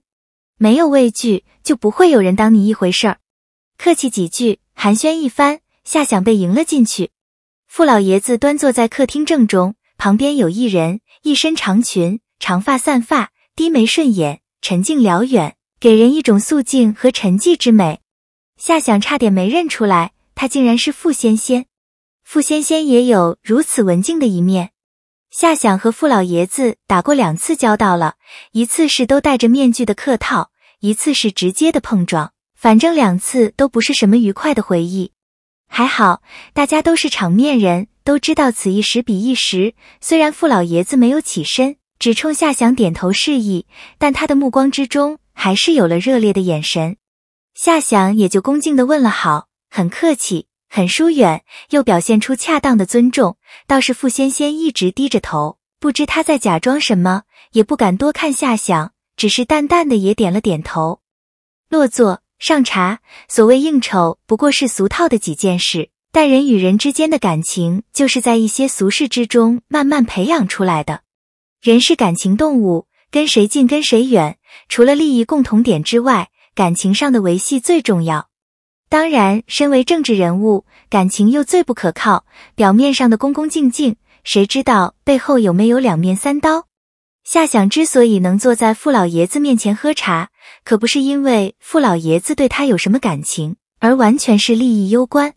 邱家的饭菜可不如傅家的好吃，傅老爷子开口就说到了吃。邱家人口味淡，做的菜少盐没味的，我是吃不惯。要么咸，要么甜，不咸不甜的。怎么入口？夏想在吃的上面没什么讲究，他吃山珍海味也是吃两口就成，吃馒头咸菜也能吃饱。对付老爷子的吃饭理论，只好报以一笑，光顾着说话了，连饭菜是什么味道都忘了。哈哈，傅老爷子豪气的一笑，今天仙仙特意为你买了一只上好的烤鸭，一定要好好品尝一下，不要也记不住是什么味道，总是他的一番心意。夏想成情了，其实不用麻烦的，我吃什么都随意，不挑剔。不过还要谢谢仙仙的好心，不要谢他，谢他什么？我们傅家人都要谢谢你救了仙仙。傅老爷子很郑重的说了一句：“以前的恩恩怨怨就都过去了，从你救下仙仙的一刻起，你就是傅家的贵宾。”这话说的分量不轻，夏想可担当不起傅家的贵宾，正要客套几句。傅老爷子却摆了摆手，救命之恩大过天，再说别的就是虚伪了。来吃饭，吃饭。夏想只好恭敬不如从命，入座吃饭。傅仙仙坐在了他的旁边，为他夹菜，还为他包好鸭肉，细心、用心、贴心，就不由夏想不多吃一些。但当着傅家人的面，他多少有点不自在。幸好傅先锋的父亲大伯和三叔都没有在场。否则身上的压力会更大。和傅家之间，毕竟曾经有过深深的过节，人与人之间很难做到相逢一笑泯恩仇。吴才和还好，依旧一副笑眯眯的模样，似乎对付仙仙和夏想之间的亲密视而不见。吴若天就没有那么深的城府了，眼神几次飘忽过来，落在夏想和傅仙仙的身上，脸上全是迷惑和疑问。不用说，吴若天对于夏想和连若汉之间的关系心知肚明。一顿饭吃的有滋有味，又没滋没味。有滋有味的是，傅老爷子所言不虚，确实饭菜很好吃。没滋没味的是，一桌人坐在一起，共同语言却是不多，有隔阂，也陌生。虽然也说了一些话，但多半都和吃有关，没有涉及有营养的话题。也正常，今天只是一次试探性会面，想要和傅家有真正的利益共同点，以后的路还有很长。当然，今天也不是没有收获，至少在心理上和傅家的关系小进了一层。至少傅老爷子又在夏想面前流露出慈爱和宽容的一面。至少吴才和和吴若天的出现，肯定得到了吴老爷子的默许，也间接的表明吴家希望他和傅家握手言和。手是握了，但要说到言和，夏想相信还需要时间。晚上回去后，曹淑离和夏冬已经睡下，他们在连若汉的陪同下出去玩了一圈，也累了。夏想却没有睡意，一个在房间中也没有开灯，就在黑暗之中想事情。到郎氏上任很突然，没有给他太多的准备，但和郎氏之行截然不同的是，到天泽市上任。给了他足够的缓冲期，也让他做足了前期工作，而且又正好赶在了国庆假期。这一次的京城之行，俨然成了即将到天泽市上任的注脚。在郎氏一年左右的任上，他和家族势力联系渐少。就在开始之时，和傅家、梅家因为新兴农业有过一次短暂的较量，随后就既没有利益冲突，也没有利益共同点了。甚至和傅家之间的矛盾也因为时间的推移而淡化了许多，但在尚未到天泽市上任之前，突然之间就四家联动，让他和四家之间的关系迅速升温。自然有一定的客观因素，也难保没有幕后推手的因素。是吴家，是傅家，还是谁？夏想更清楚一点，其实四家是有意借热捧他的态势，向总理施压也好。甚至有意给团戏人马看戏也罢，政治用意十分明显。开玩笑，大家都是官场中人，一举一动自然都有背后的意图。还有一点，他一直忍着没有主动打电话给老谷，老谷也是始终沉默。以老谷的渠道，还有四家刻意制造的声势，老谷早就将他在京城的一举一动尽收眼底，但没有什么话要说，要么是冷眼旁观，要么是总理对他彻底失望，已经放弃了他，或者在暗中观察他也未可知。京城的夜晚喧嚣而美丽，其实身在京城和在燕市，至少在夏想的感觉中区别不大，都是横平竖直的北方城市，都是一样的口音。一样的人群，除了京城的楼更高、车更堵、大街更多外国人的面孔之外，和燕市的区分还真不是那么明显。京城是古城，燕市是新城，国内的城市千篇一律的规划，没有特色的扩建，也就导致了城市面孔的大同小异，不得不说是一种悲哀。所以，国内的旅游城市旅游从来没有市场。天泽市也是一个旅游城市，虽然有中国十大风景名胜地之称，但实际上旅游资源并不丰富。除了一座久负盛名的皇家园林之外，其他景色一没规模，二没特色。而且由于气候的原因，特色旅游也一直发展不起来。其他方面可值得一提的也很少，工业平平，农业一般，矿产贫乏，可以说在几十年来。一直和张成市你争我赶，争当燕省第一贫穷市的称号。第二天，夏想陪同曹淑离、夏冬游览了长城，萧武和凤美美也是第一次登上长城，两家人玩的还算开心。一直到了下午，接到了连若汉的电话之后，夏想才返回宾馆，直累得双腿发酸，腰发软，躺在床上不想动弹半分。不想动也得动，吴才阳发出了邀请，请到他吴家赴宴。去吴家还是不带曹淑离好了。连若汉也特意交代，他会过来陪曹淑离母子，要去买衣服。如果是夏想打死也不去买什么衣服，爬了一天长城累得要死，哪里还有精神头？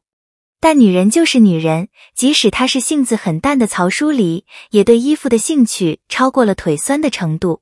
夏想就将以前连若汉送她的银行卡交给曹淑离，随便用，看上什么买什么。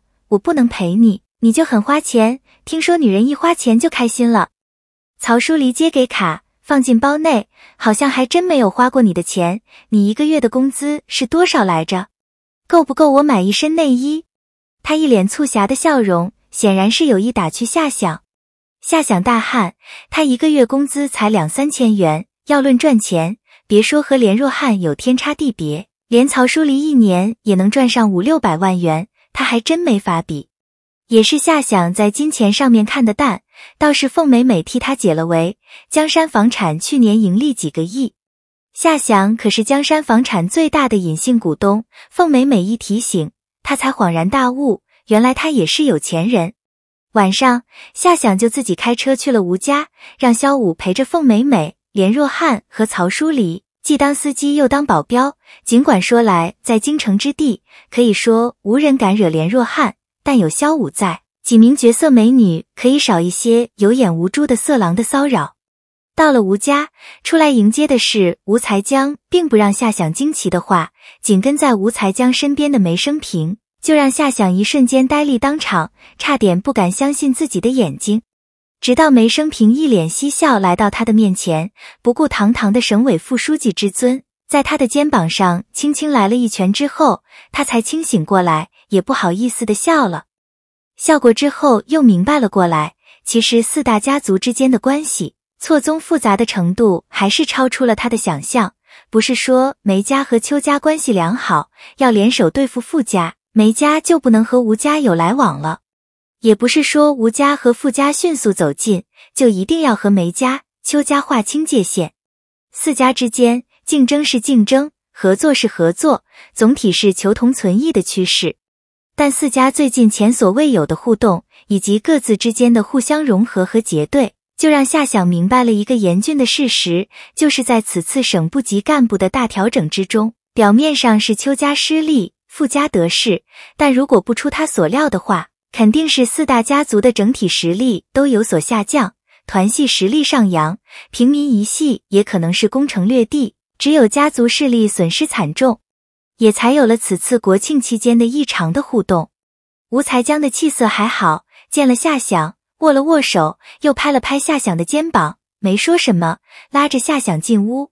梅生平估计是中午喝了不少酒，还有酒气，脸上的笑容意味深长，也不知道他笑个什么。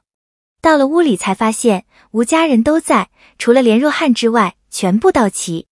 吴老爷子坐在正中，左面吴才和，右边吴才阳，身后吴若天，还有一个二十岁出头的年轻人，应该是吴才江的儿子吴若九。再加上和他一同进来的吴才江，就是当朝第一家族吴家的全部家庭成员。吴家的家宴如此隆重，全体出动，就不仅仅是拉拢夏想那么简单了。隐含更深的一层含义是，吴老爷子在内心之中接受了夏想作为吴家成员的存在，因为夏想是吴家不能公开的女婿，但却是事实上的女婿。梅生平眼神复杂，心中五味杂陈。吴家完全接受了夏想的事实，对他来说喜忧参半。夏想作为厅级干部之中一颗耀眼的政治明星，正在冉冉升起，不但总理十分赏识他。有意将他纳入平民一系的势力范围。听说就连团系也有人打听夏想的政治立场，试图拉拢夏想加入团系。尽管夏想并没有从事过团组织的经历，但并不妨碍团系高层对他的好感和兴趣。不过，听说团系在得知了夏想的政治立场在平民和家族之间摇摆后，就暂时打消了和他接触的念头。主要也是吴老爷子出手的时机拿捏的极好。听说总理有意让夏想再在郎氏锤炼两年，不料吴老爷子突然出手，将夏想调到了天泽市，从而让夏想远离了郎氏的是非之地。梅生平清楚吴家的用意，天泽市传统上一直是家族势力的范围，让夏想在家族势力的保护之下，安稳的过渡到正厅，再在正厅的位置上打磨几年。为他顺利迈入副部打好扎实的基础。现在眼光都放长远了。以前高层是从正厅的位置上挑拔人才进入省部级干部储备，现在连副厅都有人盯上了，也是因为执政理念的分歧加剧。高层之中，关于如何治国、如何进一步深入改革开放，矛盾突出了。各省的书记和省长政治理念已经成熟，想要改变已经没有可能。而厅级干部正是中坚力量，尤其是身为市委书记和市长的正厅实职干部，他们的执政理念是偏左还是向右，都还没有完全定型。而他们又是省部级干部的后备军，尤其是其中的佼佼者，更是引人注目，不进入高层的视线都不行。更不用提如夏想一样，既得平民势力赏识，又和家族势力有着剪不断理不乱的纠缠关系。他在政治立场上倾向于谁，不仅可以为一派带来一股不容忽视的力量，同时象征意义重大，对另一派的打击也具有深远意义。因此，夏想的抢手不是没有深层的客观，也是一种竞价模式之下的惯例思维，导致了平民势力越想要夏想，家族势力越不放手，夏想的重要性就越凸显。还好，让梅生平大为欣慰的是，夏想没有因此忘乎所以。还是很平静，面对缤纷错乱的局势，也让他暗暗感叹：确实有大将之风。果然，各方势力的眼光都有相同点。夏想能被各方看重，也和他自身素质过硬不无关系。明知吴家早晚会接受夏想，但亲眼见到吴老爷子的家宴，全家动员，梅生平再想到梅小林，还是没来由的在心中一声叹息。他今天前来是和吴才江有约。也是有意向外界传达一个信息，但现在他又有点后悔今天来了，应该错开日子才对。但随后发生了一件事情，又让他庆幸今天来对了。